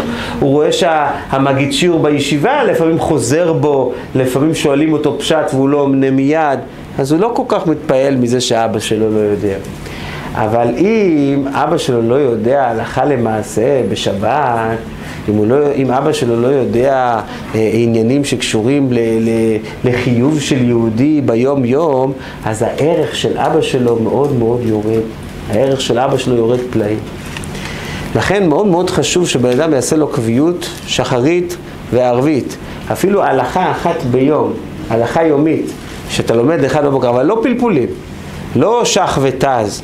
אני מדבר איתך הלכה למעשה, בשר וחלב הלכה למעשה. יש ספרים שמרכזים את זה. אה, אה, מליחה לא כל כך מצוי היום שאנשים הולכים בבית, אבל תערובות זה כן מצוי, כן? כל מיני תערובות שיש במטבח, הלכה למעשה, אבל רק הלכה למעשה. מה קורה, ברוך השם, יש לנו עדנה גדולה בלובביץ' שהולכים ולומדים סמיכה. זה מעורר את האנשים, כי הם יודעים שהם יקבלו בסוף תעודה, ואנחנו בדור של תעודות. אז אנחנו אוספים תעודות, כל מיני, וזה יפה. לומדים, העיקר שלומדים, זה דבר יפה. אבל אחרי שהבן אדם גומר את כל זה, הוא פתאום מגלה שהוא לא יודע שום דבר בהלוך למעשה. אז זה טוב שבן אדם למד, כל שעה שיהודי לומד יקר מכל יקר. אבל מצד שני, כשזה מגיע להלכה למעשה, אי אפשר, אי אפשר, אי אפשר לזלזל בזה, צריך לקחת את זה בחשבון. אותו דבר, דינים של טומאה וטהרה, דינים של הרחקות, דינים של כל דבר ודבר, האדם צריך לדעת לפחות להלוך למעשה, מה אני עושה. מה מותר? אתה לא חייב ללמוד את כל ההערות שנמצאים למטה בספר. תלמד רק את הפנים למעלה, ואם יש לך שאלה, ברוך השם יש תלמידי חכמים, אתה יכול לפנות אליהם להבין מה הכוונה, מה הפירוש, מה העניין. אבל זה דבר שחובה לעשות. הרב כותב באחת מהאגרות שלו, לו איש ערכי לי, הייתי מייסד לימוד הלכה למעשה מהגיל הכי קטן בחיידרים עד הגיל הכי גדול. שילמדו פשוט ספרי קיצורים של הלכה למעשה כדי שידעו מה עושים בדיני הפסק בתפילה, מה עושים בשבת, על מה שמים את האוכל בשבת, על מה לא שמים וכיוצא בזה, בפועל ממש, עם הפרקטיקה הכי הכי מצויה ועם ה, מה שנקרא, עם המודרניזציה הכי גדולה, אתה יודע את זה, אתה הופך להיות מלך. הלכה למעשה היא כתרה של תורה, הלכה למעשה נותנת לך כבוד בעיני הילדים שלך, ואיך אומרים, בסוד אני אגיד לכם, גם בעיני האישה זה נותן כבוד. כשהאישה רואה שבעלה יודע להגיד דברים, יכול להיות שהיא לא מאמינה לו בפעם הראשונה, ואז היא שואלת את הרב. אבל אחרי זה, היא רואה שהרב אמר כמו שאתה אמרת. אז מה הוא יגיד לה? את רואה, אמרתי לך. אז פעם אחת אמרתי לך, פעם שנייה אמרתי לך, פעם שלישית אמרתי לך. בסוף היא, היא תקבל אותו שהוא הרב בבית, אבל זה בתנאי שהוא משתלם. אז חבר'ה, אני חושב שצריך לקחת החלטה, זה לא משהו שהוא קשה. אפשר לקחת קיצור שולחן ערוך ולקרוא כל יום, לשים אותו בתפילין, לקרוא כל יום אחרי התפילה הלכה אחת. תראו לפני שאתם הולכים לישון עוד הלכה אחת ועוד הלכה, שני קיצורי שולחן ערוך, אחד בתפילין ואחד על השידה ליד המיטה. ואז אתה רואה שתוך 30 יום למדת 60 הלכות. וחודשיים זה כפליים וכפליים ואחרי שנה אתה רואה שעברת על, אה, על, אה, על, על, על למעלה מחצי קיצור שולחן ערוך הלכה למעשה. ואחר כך ספרים נוספים שישנם קיצורים, זה ספרים טובים, פשוט קיצור שולחן ערוך זה הספר שהרבי הזכיר אותו הכי הרבה פעמים, הרבי הרייץ גם כן, הכי הרבה פעמים כשהוא הורה לאנשים ללמוד הלוך למעשה, הביטוי קיצור שולחן ערוך מוזכר בשיחות, באגרות וכולו למעלה מ-200 פעם, כאילו קיצור שולחן ערוך זה כאילו הזה. אז לכן אני. כן, אז אני, אני אומר, קיצור שולחן ערוך זה דבר ראשון, אבל יש ברוך השם הרבה ספרי קיצורים אחרים. אתה קורא כל פעם הלכה, חוזר עליה פעם, פעמיים, אתה הופך להיות אחר כך, או, אמר לי פעם איזה רב ראשי שדיברתי איתו להזכיר את שמו, הוא אמר לי, אם רבני עיר היו יודעים קיצור שולחן ערוך, המצב שלנו היה טוב. הוא אמר את זה ככה, אם הוא אמר, אני... איך רבני עיר היו יודעים קיצור שולחן ערוך וזוכרים אותו, אז היה טוב. כאילו, אתה אומר שהרבא אומר את זה אפילו, וזה... אז אני אומר, זה, זה, זה, וזה דבר שהוא שווה לכל נפש, כל יהודי. לפעמים לא זוכרים את ההלכה בקריאה של פעם אחת, אז תקרא כמה פעמים מיד, נדפק לך בראש, ואז אתה, כמו שאומרים, הולך עם זה, ויש לך גם עולם הזה, אורך ימים בימינה, זה כבוד. וגם יש לך אה, את, ה, את, ה, את העניין של העולם הבא, את הרוחניות, ואנחנו צריכים לקחת, זה מסירות נפש בדור שלנו. כן, מסירות נפש, לקרוא הלכה בבוקר או בערב, ולזכור לשים את זה בספר וזה, בשבילנו זה מסירות נפש. בשבילנו זה לא פשוט. ואז פתאום אתה מגלה שיש לך קשר עם הרב. כי יש לך כל מיני דברים שאתה לא מבין, אז אתה ניגש לרב. ככה סתם לא ראית אותו ממטר. איפה פגשת ברב? מי, מי הוא בכלל? כאילו, מה, איפה, איפה, איפה, איך אומרים? הוא לא, הוא, לא, הוא, לא, הוא לא היה רלוונטי בחיים, כמעט בכלל. אבל כשאתה לומד הלכה וזה, זה מעניין אותך, הצליח לתפוס אותך, אז אתה ניגש לשאול אותו פשט, מסכים עם הפשט או לא, לא מסכים, מתווכח איתו, מרגיש מאן דאמר, לא משנה, אבל בסוף יצר, יצר, יצר לך קשר יותר חזק עם, ה, עם הזה. חבר'ה, מחפשים מסירות נפש? מחפשים י"ב י"ג תמוז? הלוך למייסה, זה מסירות נפש בשבילנו היום. זה מסירות נפש. בשביל, אנחנו, אנחנו בדור כזה שאפילו דבר כזה הוא יקר, יקר, יקר מכל יקר, מבחינתנו, בעולם שלנו. תקחו את זה לתשומת הלב, זה לא קשה בכלל, לא צריך שום הכנות מקדימות של ידע מקדים תורני, כלום. אתה פשוט קורא כל פעם הלכה אחת, גם אם תטעה בלמעלה מ-50 אחוז, תהיה גאון גדול. אז איך אומרים, זה תמיד היה שווה. לחיים לחיים.